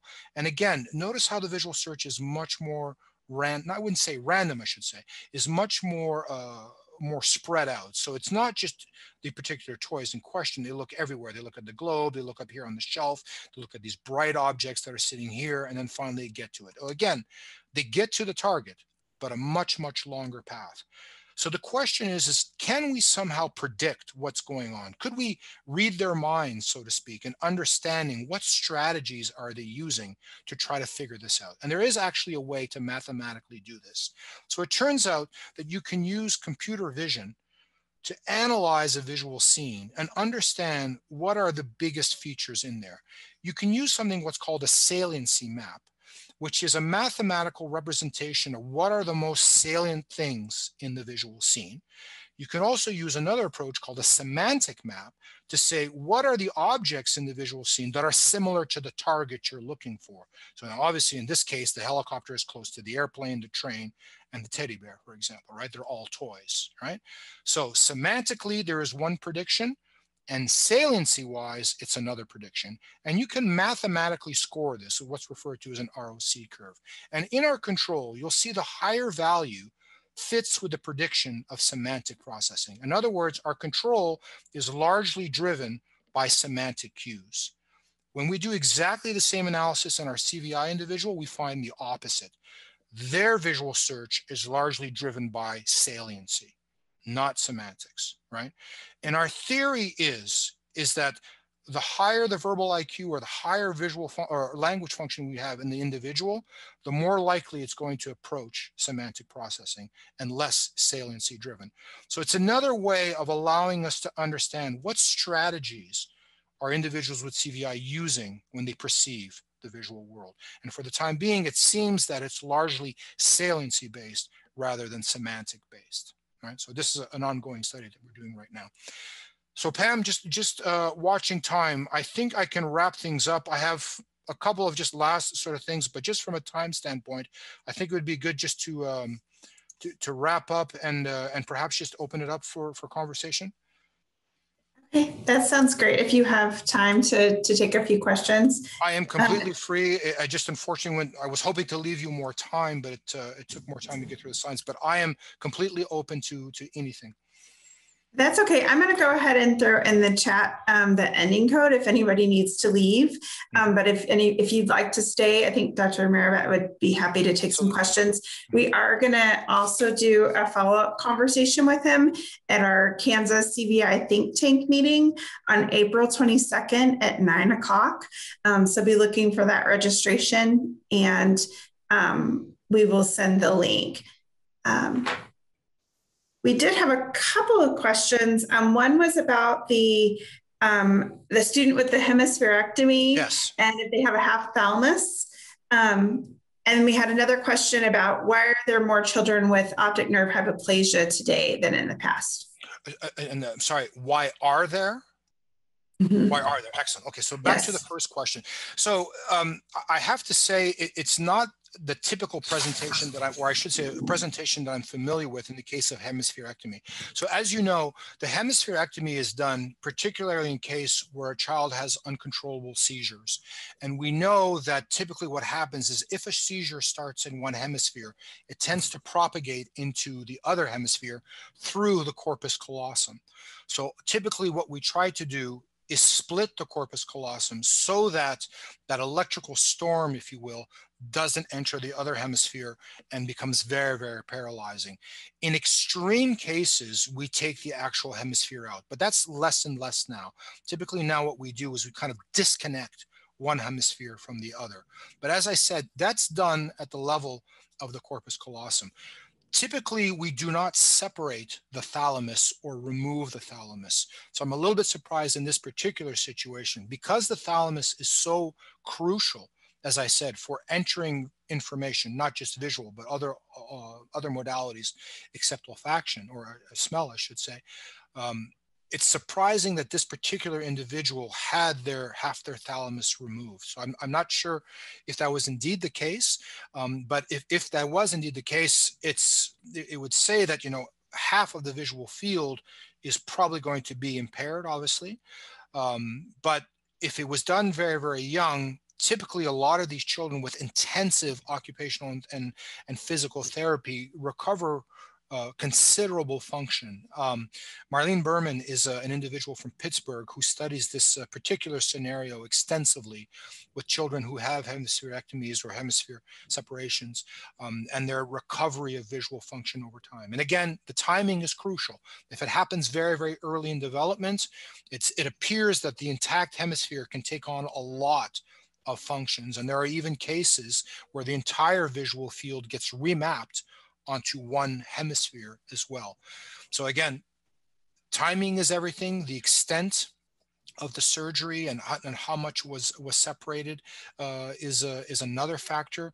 But the intensity of the rehabilitation strategies or rehabilitation, rehabilitation strategies early on are crucial in determining what type of function that you'll see later on.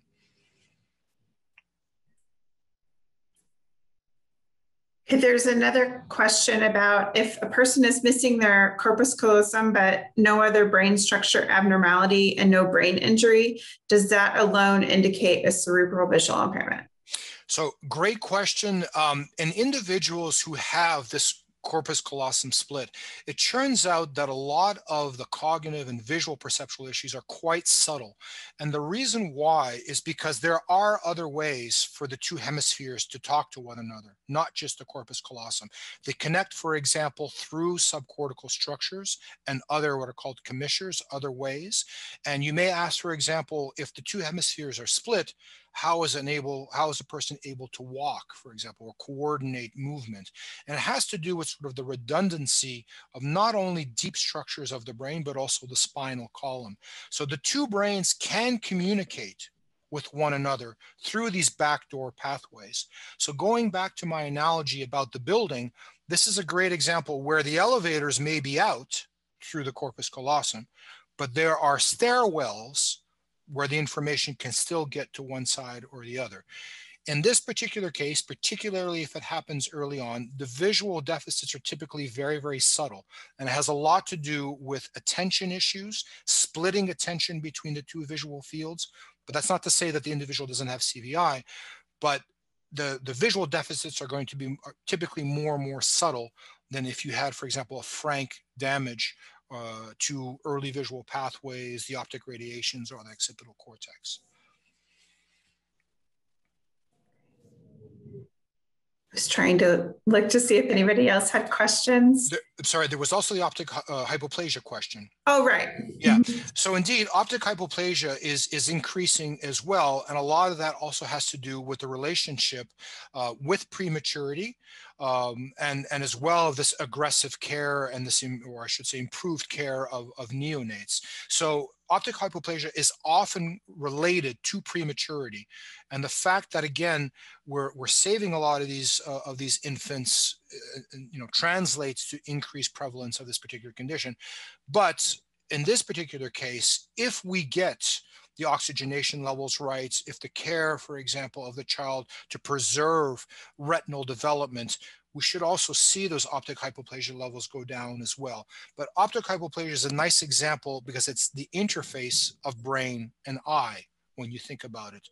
But again, if we're more, as we improve our care of prematurity, particularly in the case of um, a retinopathy of prematurity, we should see the cases of optic hypoplasia decrease as well. But not always, because again, there could be situations where the damage is deep in the brain and the hypoplasia occurs because of what we call this retrograde uh, um, degeneration of the optic nerve as well. So it's it's um, it's a challenging case because it really implicates the eye and the brain because indeed it's the interface between the two. But those numbers should change as we change our practices as well. Interesting. Yeah. Does anybody else have questions? You can go ahead and unmute. I'm trying to check the gallery here. Uh, Pam, Pam, just a comment again. I, I, I went over time and I had some comments about plasticity and so on, but I'm happy to go over those last slides at our at our regroup session. If if if, uh, if people are interested, I had some comments about neuroplasticity and impact and so on.